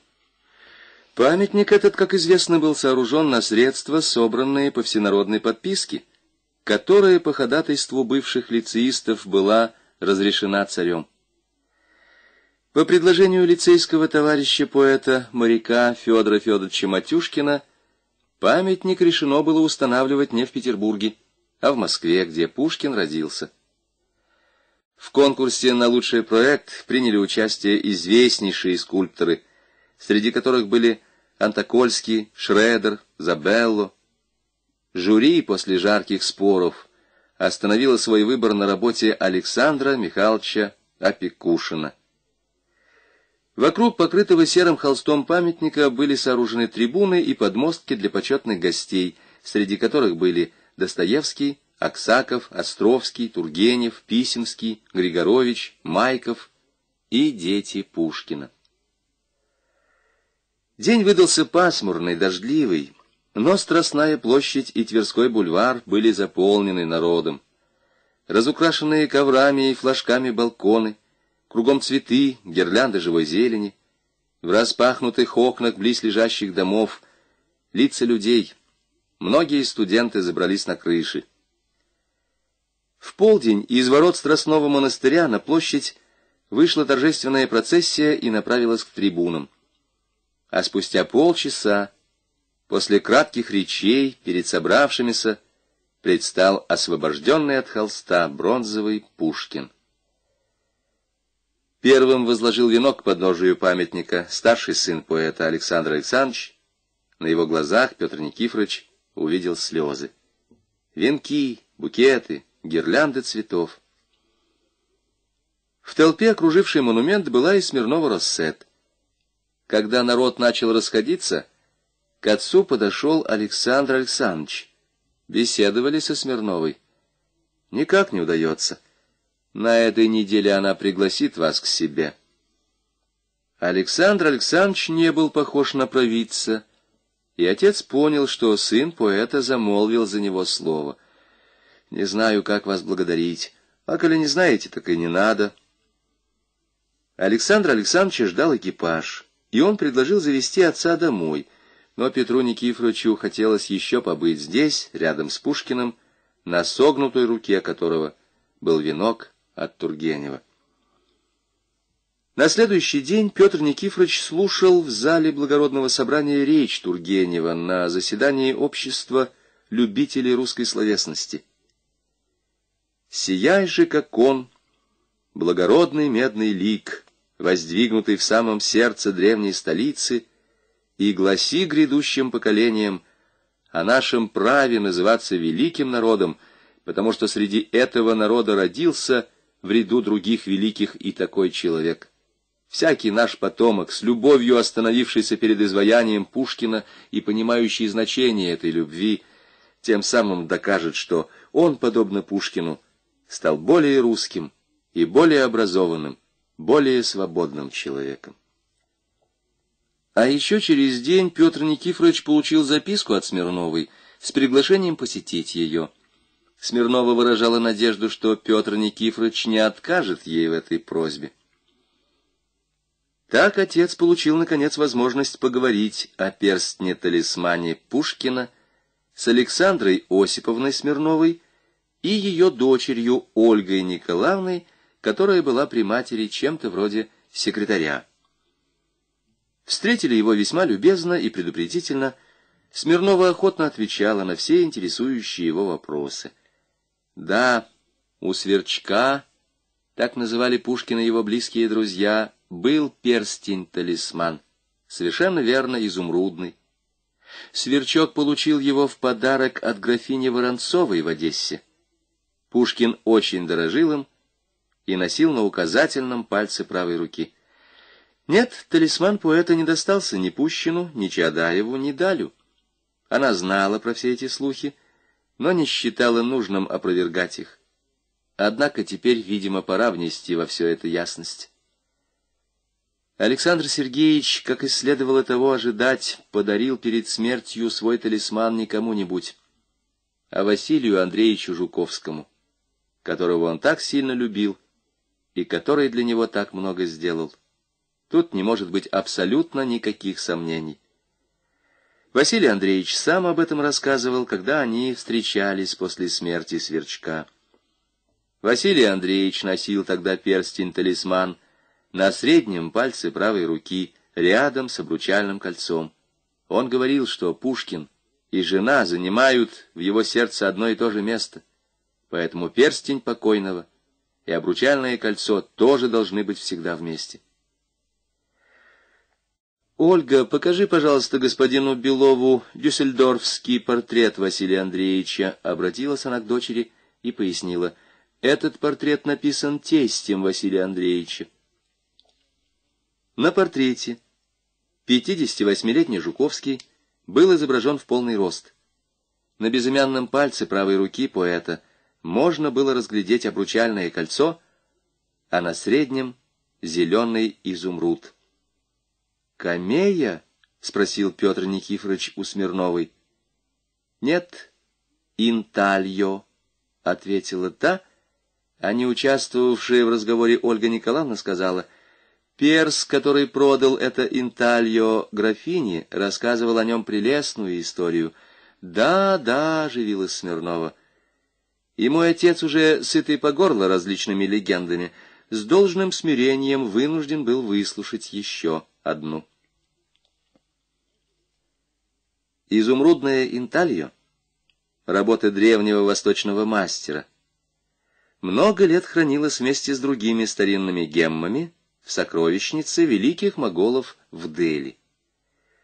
А в 1739 году, когда войска персидского завоевателя Надир-Шаха вторглись в Индию, и сокровищница великого могола Мухаммед-Шаха была разграблена, Надир-Шах подарил это интальо своему старшему и любимому сыну, который должен был наследовать великую и могущественную империю. Но будущее известно лишь Аллаху.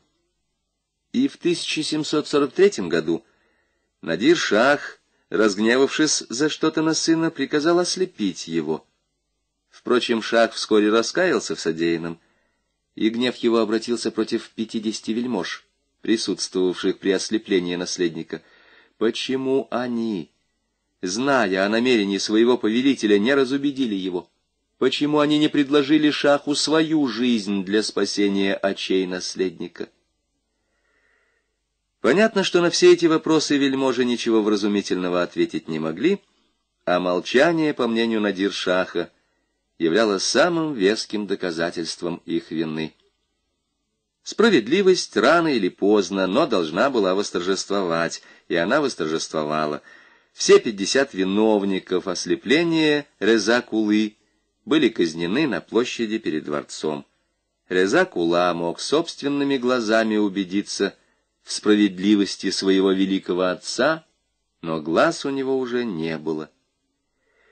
И тогда шах, отличавшийся не только справедливостью, но и хитроумием, сказал сыну, «Твои уши услышат их стоны, а твой изумруд увидит их мучения».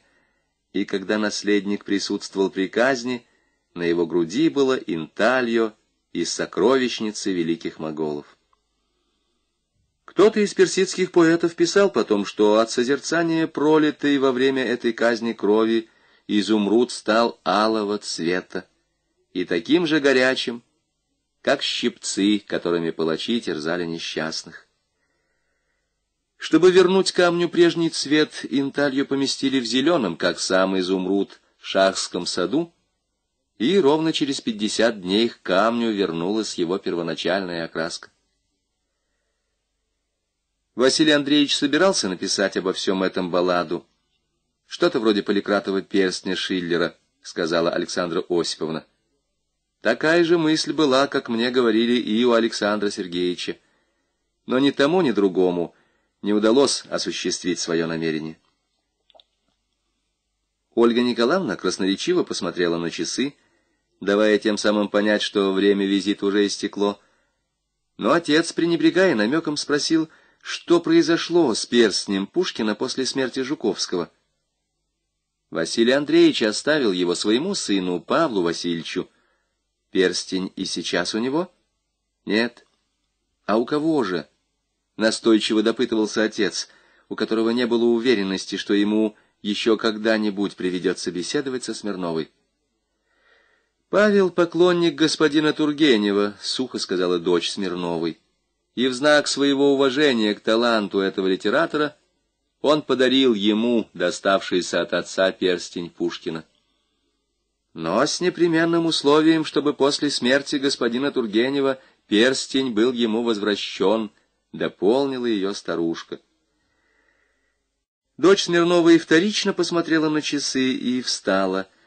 К сожалению, будет ли это условие выполнено или нет, зависит не от господина Тургенева, а от госпожи Виардо. Отцу не оставалось ничего иного, как откланяться.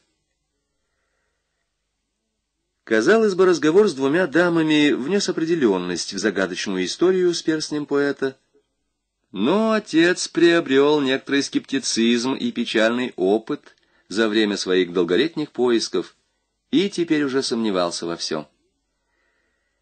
Его сомнения разделял и Александр Александрович Пушкин. Встретиться с Тургеневым в Москве отцу не удалось. Не смог он побеседовать с ним и во Франции, хотя очень к этому стремился. На свои письма к Тургеневу и сыну Жуковского – Ответа он не получил, что уже само по себе было плохим признаком. Вновь Тургенева отец увидел лишь в 1883 году, когда тело великого писателя, согласно его желанию, было привезено из Франции в Россию и похоронено на Волковом кладбище. Увы, больше Иван Сергеевич Тургенев уже ничем не мог помочь отцу с перстнем-талисманом Пушкина. Петр Никифорович хотел повидать Полину Виардо, но в связи с различными обстоятельствами откладывал свою поездку во Францию с года на год, то дела, то несчастье. И вдруг... А вдруг бывает не только в детективных романах, но и в жизни. 8 марта 1887 года газета «Новое время» напечатала письмо Василия Богдановича Пассака, русского вице-консула в Далмации и литератора, автора публиковавшихся в Вестнике Европы воспоминаний рядового первого призыва и некоторых других популярных в свое время билетристических произведений. В своем письме Пасок удостоверял, что умерший в Бужевале под Парижем в доме Виардо Иван Сергеевич Тургенев действительно владел перстнем-талисманом Пушкина. Более того, Пассак приводил сказанные при нем слова писателя. «Я очень горжусь обладанием пушкинского перстня и придаю ему так же, как и Пушкин, большое значение. После моей смерти я бы желал, чтобы этот перстень был передан графу Льву Николаевичу Толстому, как высшему представителю современной литературы, с тем, чтобы, когда настанет его час, граф передал этот перстень по своему выбору достойнейшему последователю пушкинских традиций между новейшими писателями. Петр Никифорович считал эту публикацию подарком судьбы, которая, как вы могли убедиться, до сего времени его отнюдь не баловала. Итак, рассказанное ему двумя дамами подтверждалось. Перстень был у Ивана Сергеевича Тургенева. Но где он находится теперь? Когда Ивана Сергеевича не стало, в России или во Франции? У кого он? У Полины Виардо, Павла Жуковского или у Льва Николаевича Толстого? По просьбе Петра Никифоровича один из его приятелей, уехавший во Францию на лечение, посетил Полину Виардо. Он рассказывал потом отцу о состоявшейся встрече, во время которой речь шла о перстне Пушкина. «Да, действительно», — сказал Виардо, — у Ивана Сергеевича хранился этот перстень, он очень ценил его. Когда Тургенев работал, он обычно надевал его на палец. При этом Иван Сергеевич шутил, что с этим перстнем одни хлопоты, что перстень гения настолько строг и взыскателен, что он вынужден порой по нескольку раз переделывать в своей рукописи каждую фразу. Увы, этот перстень никак не хочет понять, что он не великий Пушкин, а всего лишь обычный, ничем не примечательный Тургенев. Какой с него спрос? Но разве перстень Пушкина убедишь в том, что иногда можно сделать скидку? Куда там? Вот и стыдишься каждой малой небрежности, вот и мучаешься часами над словом. Не только почетно, но и трудно носить на пальце перстень гения. Приятель отца спросил, где этот перстень сейчас. Виардо сказала, что у нее этот перстень дорог ей как память о безвременно ушедшем из жизни Тургеневе. Она понимает, что у нее нет морального права оставлять эту бесценную реликвию у себя. Перстень, так же, как Пушкин и Тургенев, принадлежит России. Все так. И тут ни в чем ее не надо убеждать, слова излишни. Просто пока она не может решиться расстаться с ним. Это свыше ее сил — но рано или поздно это, конечно, придется сделать. В России говорят, что лучше раньше, чем позже. Не всегда, не всегда. И все-таки в этом году она перешлет перстень в Петербург. Как скоро? Она боится называть точную дату. Назвать дату — это взять на себя обязательство.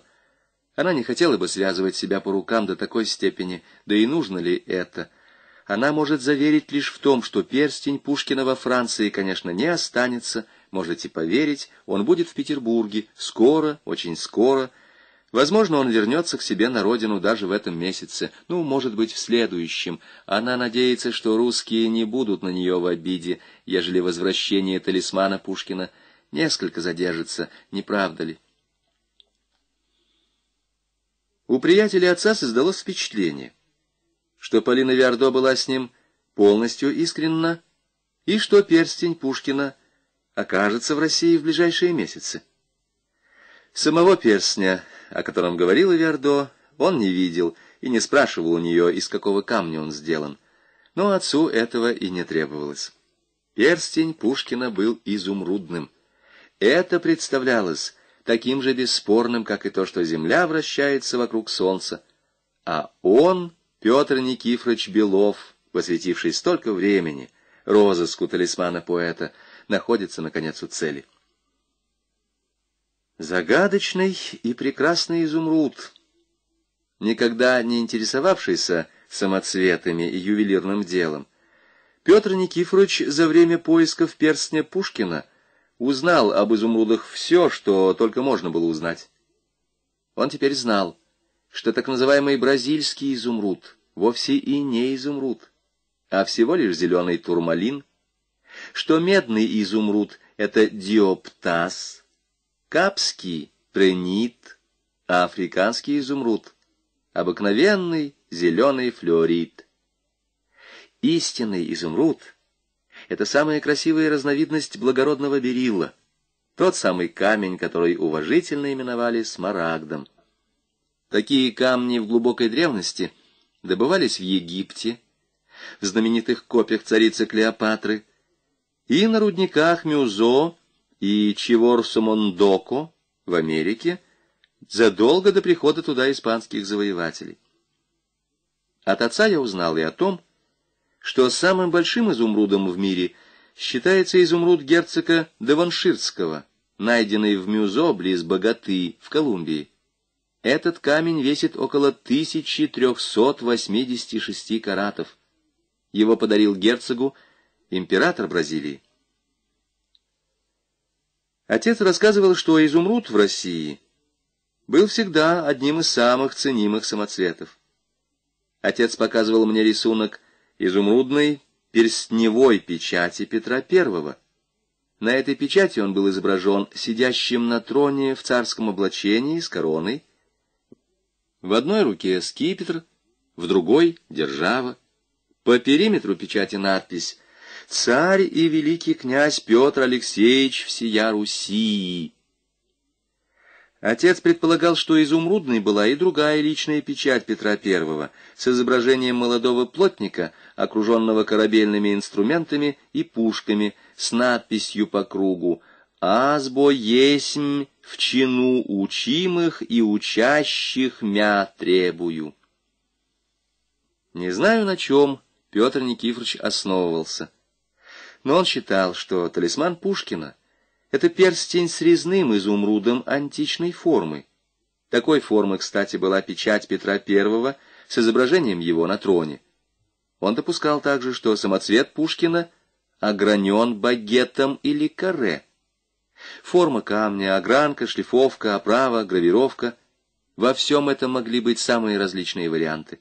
Неизменным оставалось одно — талисманом Пушкина был изумруд, и только он — Полина Виардо сдержала свое обещание. Перстень, остававшийся у нее после смерти Тургенева, был в конце концов отослан ею в Петербург, где попал в Пушкинский музей. Петр Никифорович одним из первых в Петербурге узнал эту долгожданную весть. Хранителя музея Виктора Борисовича Гречаева, страстного поклонника Пушкина, человека исключительной доброжелательности и обаяния, отец знал довольно давно. Увидев отца, Гречаев очень обрадовался. «Весьма кстати», — сказал он, — «вы же за последнее время стали докой в ювелирных делах. Только по части изумрудов. Не скромничайте, не скромничайте, Петр Никифорович. Вот поглядите, пожалуйста, взглядом знатока». И он протянул отцу перстень с восьмиугольным резным камнем красноватого цвета. «Что вы скажете об этой штуке?» Петру Никифоровичу, как нетрудно догадаться, не терпелось посмотреть на присланный Виардо перстень-талисман Пушкина, поиском которого он отдал столько времени и сил, но он, разумеется, не мог отказать в просьбе Виктору Борисовичу. Видно, Гречаев собирался приобрести эту вещицу. Ну что ж, вас интересует камень? Именно. Обычный сердолик или корнеол — Название от латинского «карнис», то есть мясо, насколько я помню латынь. Совершенно верно, мясо. Как видите, окраска этого камня действительно несколько напоминает цвет мяса. Впрочем, некоторые считают, что название карнеола произошло не от карниса, а от корнума, кизила, но, видимо, это не столь уж существенно. Гречаев спросил — Относится ли корнеол к драгоценным камням? Нет. Это поделочный камень, ближайший родственник яшмы. А что тут за надпись? Прочесть не берусь. Надпись на древнееврейском, а тут я пас. Ну и так более чем достаточно, улыбнулся Гречаев. Знатока древнееврейского я отыщу. Спасибо. Всегда к вашим услугам, сказал отец. А теперь у меня к вам просьба. Если это в моей власти, то считайте, что она уже выполнена. Хочу полюбоваться, наконец, перстнем-талисманом Пушкина. Наступило молчание. Гречаев озадаченно смотрел на отца. «Шутите? А почему, собственно, я должен шутить?»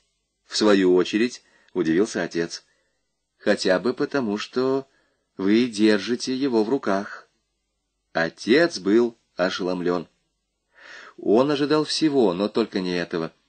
Простите, Виктор Борисович, я правильно вас понял? Вы утверждаете, что этот корнеоловый перстень был пушкинским талисманом?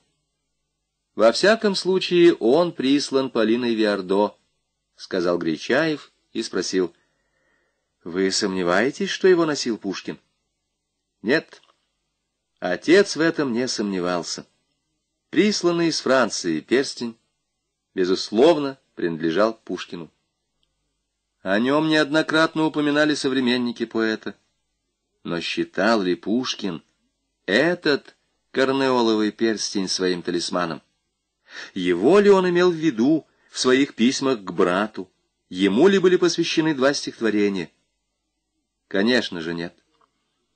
Ведь те, с кем Петр Никифорович беседовал, говорили именно об изумруде, покровители поэтов, художников и музыкантов, который вместо короны вручался каждому вновь избранному королю братства Менестрелей и которым награждали победителей в состязании бардов. Недаром Великопольский, рассказывая отцу о таблице камней, которую ему показывал Пушкин, говорил, что изумруд в ней был подчеркнут. А старший сын поэта рассказывал Петру Никифоровичу апокриф об изумрудной чаше, подаренной царицей Исавской царю Соломону. Нет. Пушкин, конечно, считал своим талисманом не сердоликовый, а изумрудный перстень. Но тогда выходит, что подлинный перстень-талисман поэта был не у Тургенева, а у кого-то другого. Но у кого? Может быть, он действительно достался Владимиру Ивановичу Далю, который был рядом с Пушкиным до самой его кончины, ведь утверждают, что Даль сам говорил об этом. А может быть, перстень у графа Льва Николаевича Толстого, отец этого — так и не узнал. Когда я, сдав экзамены за второй курс университета, готовился принять участие в археологической экспедиции, которая должна была заниматься раскопками в районе Керчи, из дома пришла телеграмма о его кончине. Он умер за своим письменным столом, правя черновик письма Льву Николаевичу Толстому. Оно, разумеется, было посвящено все тому же перстню. Когда после похорон я разбирал его бумаги, то обнаружил вот эту тетрадь в Софьяновом переплете. В ней, со свойственной отцу скрупулезностью, были изложены все перипетии его многолетних розысков, сведения о геммах, камнях, записаны разговоры с различными людьми, приведены выдержки из писем, имевших какое-либо отношение к перстню-талисману Пушкина. Уезжая, я забрал эту тетрадь с собой. С тех пор она всюду меня сопровождала. Но внимательно прочел я ее лишь в 1918 году. Тогда же проштудировал ее от первой до последней страницы у Сольцев. Связано это было с одним не совсем обычным обстоятельством. Как вы, наверное, знаете, продолжал свой рассказ Василий Петрович, в январе 1918 года в московском Кремле была ограблена патриаршая ризница. Мне привелось осматривать экспонаты многих музеев мира. Короче говоря, мне есть с чем сравнивать то, что хранилось в патриаршей ризнице в московском Кремле. И должен сказать, что там имелись экспонаты, достойные лучших сокровищниц мира. Чтобы вы имели некоторое представление о том, что было тогда похищено, я вам прочту описание всего нескольких вещей из краткого указателя патриаршей Ризницы, который был издан в 1906 году. Золотое кадило в виде одноглавой церкви, украшенное драгоценными камнями, дар царицы Ирины Феодоровны, прочел Василий Петрович. Панагия золотая константинопольского патриарха Кирилла Лукариса, в середине на громадном сапфире вырезано изображение Благовещения. Евангелие царицы Натальи Кирилловны, обе доски переплета золотые, покрыты финифтиными изображениями и множеством драгоценных камней громадной стоимости. Весу в Евангелии более двух пудов. Знаменитое Евангелие великого князя Новгородского Мстислава Владимировича XII века с золотым переплетом, украшенным эмалями X, XI, XII и XVI столетий. Золотые сосуды с эмалью царя Федора Алексеевича весом в 30 фунтов 58 золотников. Саккос патриарха Никона — по краям низан кафимским жемчугом, более полутораста золотых с чернью дробниц, множество драгоценных камней в золотых гнездах, весит до двух пудов. И вот этот уникальный музей стал жертвой преступления, продолжал Василий Петрович. Причем следует сказать, что ограбление ризницы было не первым случаем расхищения предметов искусства. Бесследно исчезали картины, фарфоровые табакерки, скульптуры, гобелены, коллекции древних монет и античных гем из барских особняков, захваченных анархистами. Покидая большевистскую Россию, богачи увозили за границу полотна великих мастеров. Бесценные фолианты, старинные иконы, продавали их иностранцам, прятали в тайники. Поэтому президиум Московского совдепа заслушав сообщение о случившемся председателя комиссии по охране памятников искусства и старины, не только обратился ко всем гражданам Советской России с призывом оказать содействие в розыске и возвращении похищенного из патриаршей Ризницы, но и ходатайствовал перед Совнаркомом республики о национализации всех предметов искусства, имеющих художественное и историческое значение. Это ходатайство, разумеется, было удовлетворено. А некоторое время спустя, если не ошибаюсь, в апреле, Народный комиссариат художественно-исторических имуществ, в котором я тогда заведовал одним из подотделов,